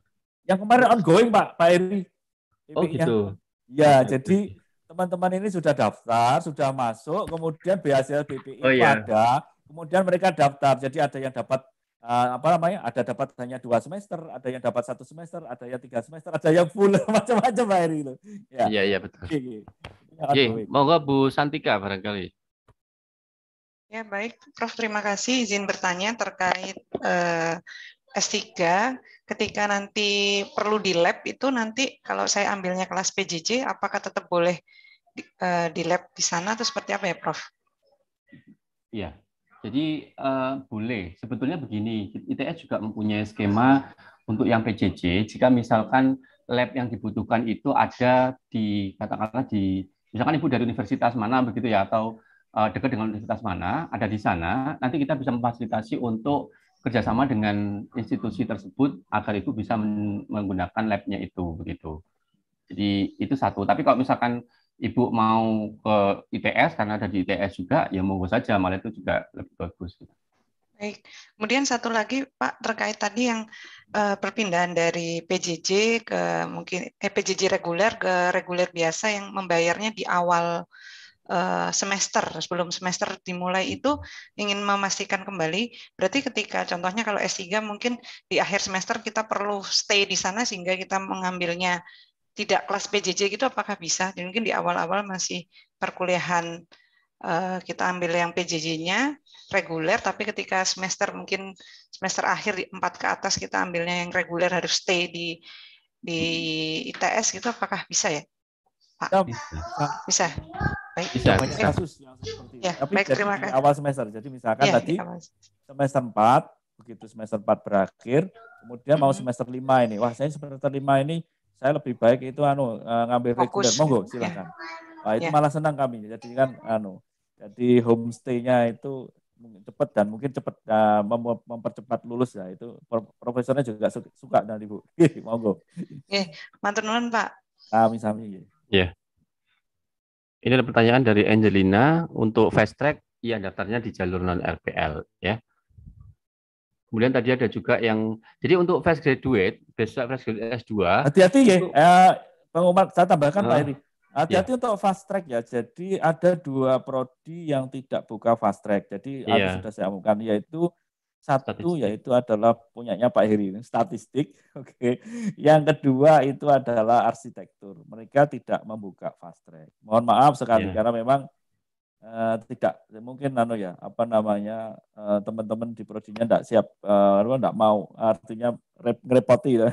mungkin urusannya banyak jadi ya gitu. Iya. Mohon maaf sekali tidak bisa. Oke. Nah, untuk beasiswa fresh graduate S2 dari S1 ke S2 itu memang diutamakan yang sebidang ya. Tapi kalau aktuaria misalkan nggak ada S2-nya kan itu bisa ke statistik mengambil fresh graduate itu juga bisa begitu.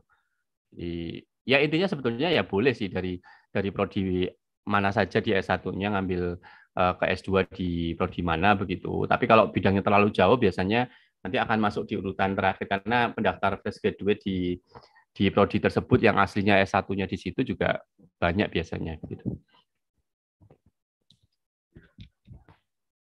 Sudah? Lagi, Atau Pak, ini, sudah? Pak? Nggak tahu ini. Kalau sudah monggo. 1142 cuma.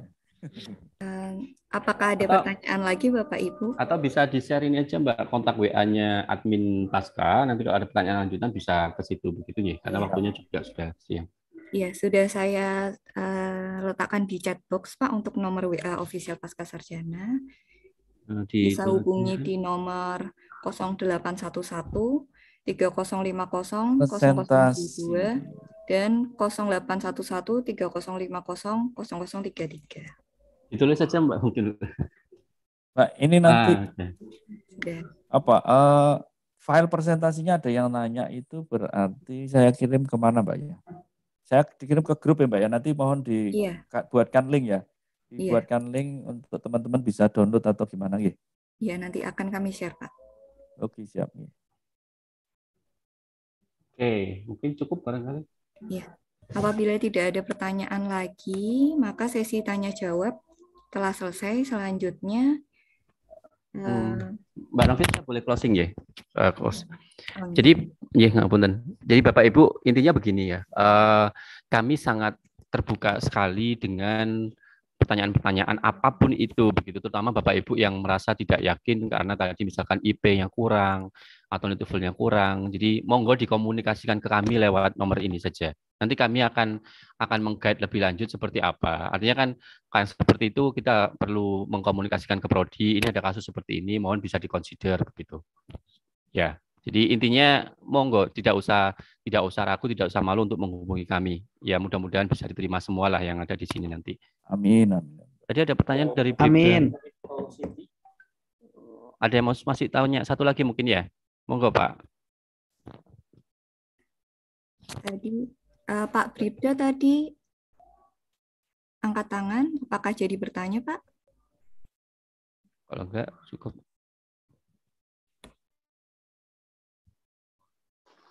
Cukup mungkin Mbak. Baik. Em, lanjut ke penutup. Alhamdulillahirrahmanirrahim. Akhirnya seluruh rangkaian acara telah kita lalui bersama. Semoga acara Open Talk Pasca Sarjana ini senantiasa membawa manfaat bagi kita semua, serta semakin memantapkan pilihan Anda untuk menjadikan ITS sebagai tujuan studi untuk pendidikan lanjut, dan membawa pada masa depan yang lebih gemilang. Saya ingin mengingatkan bahwa saat ini masih dibuka pendaftaran Pasca Sarjana ITS gelombang 2 sampai tanggal 17 Juli 2022. Saya Novia Ladawiyah beserta panitia mengucapkan terima kasih atas perhatian Anda. Mohon maaf bila ada kesalahan dalam kata-kata yang menimbulkan ketidaknyamanan Anda. Wassalamualaikum warahmatullahi wabarakatuh. Selamat siang dan sampai jumpa. Waalaikumsalam.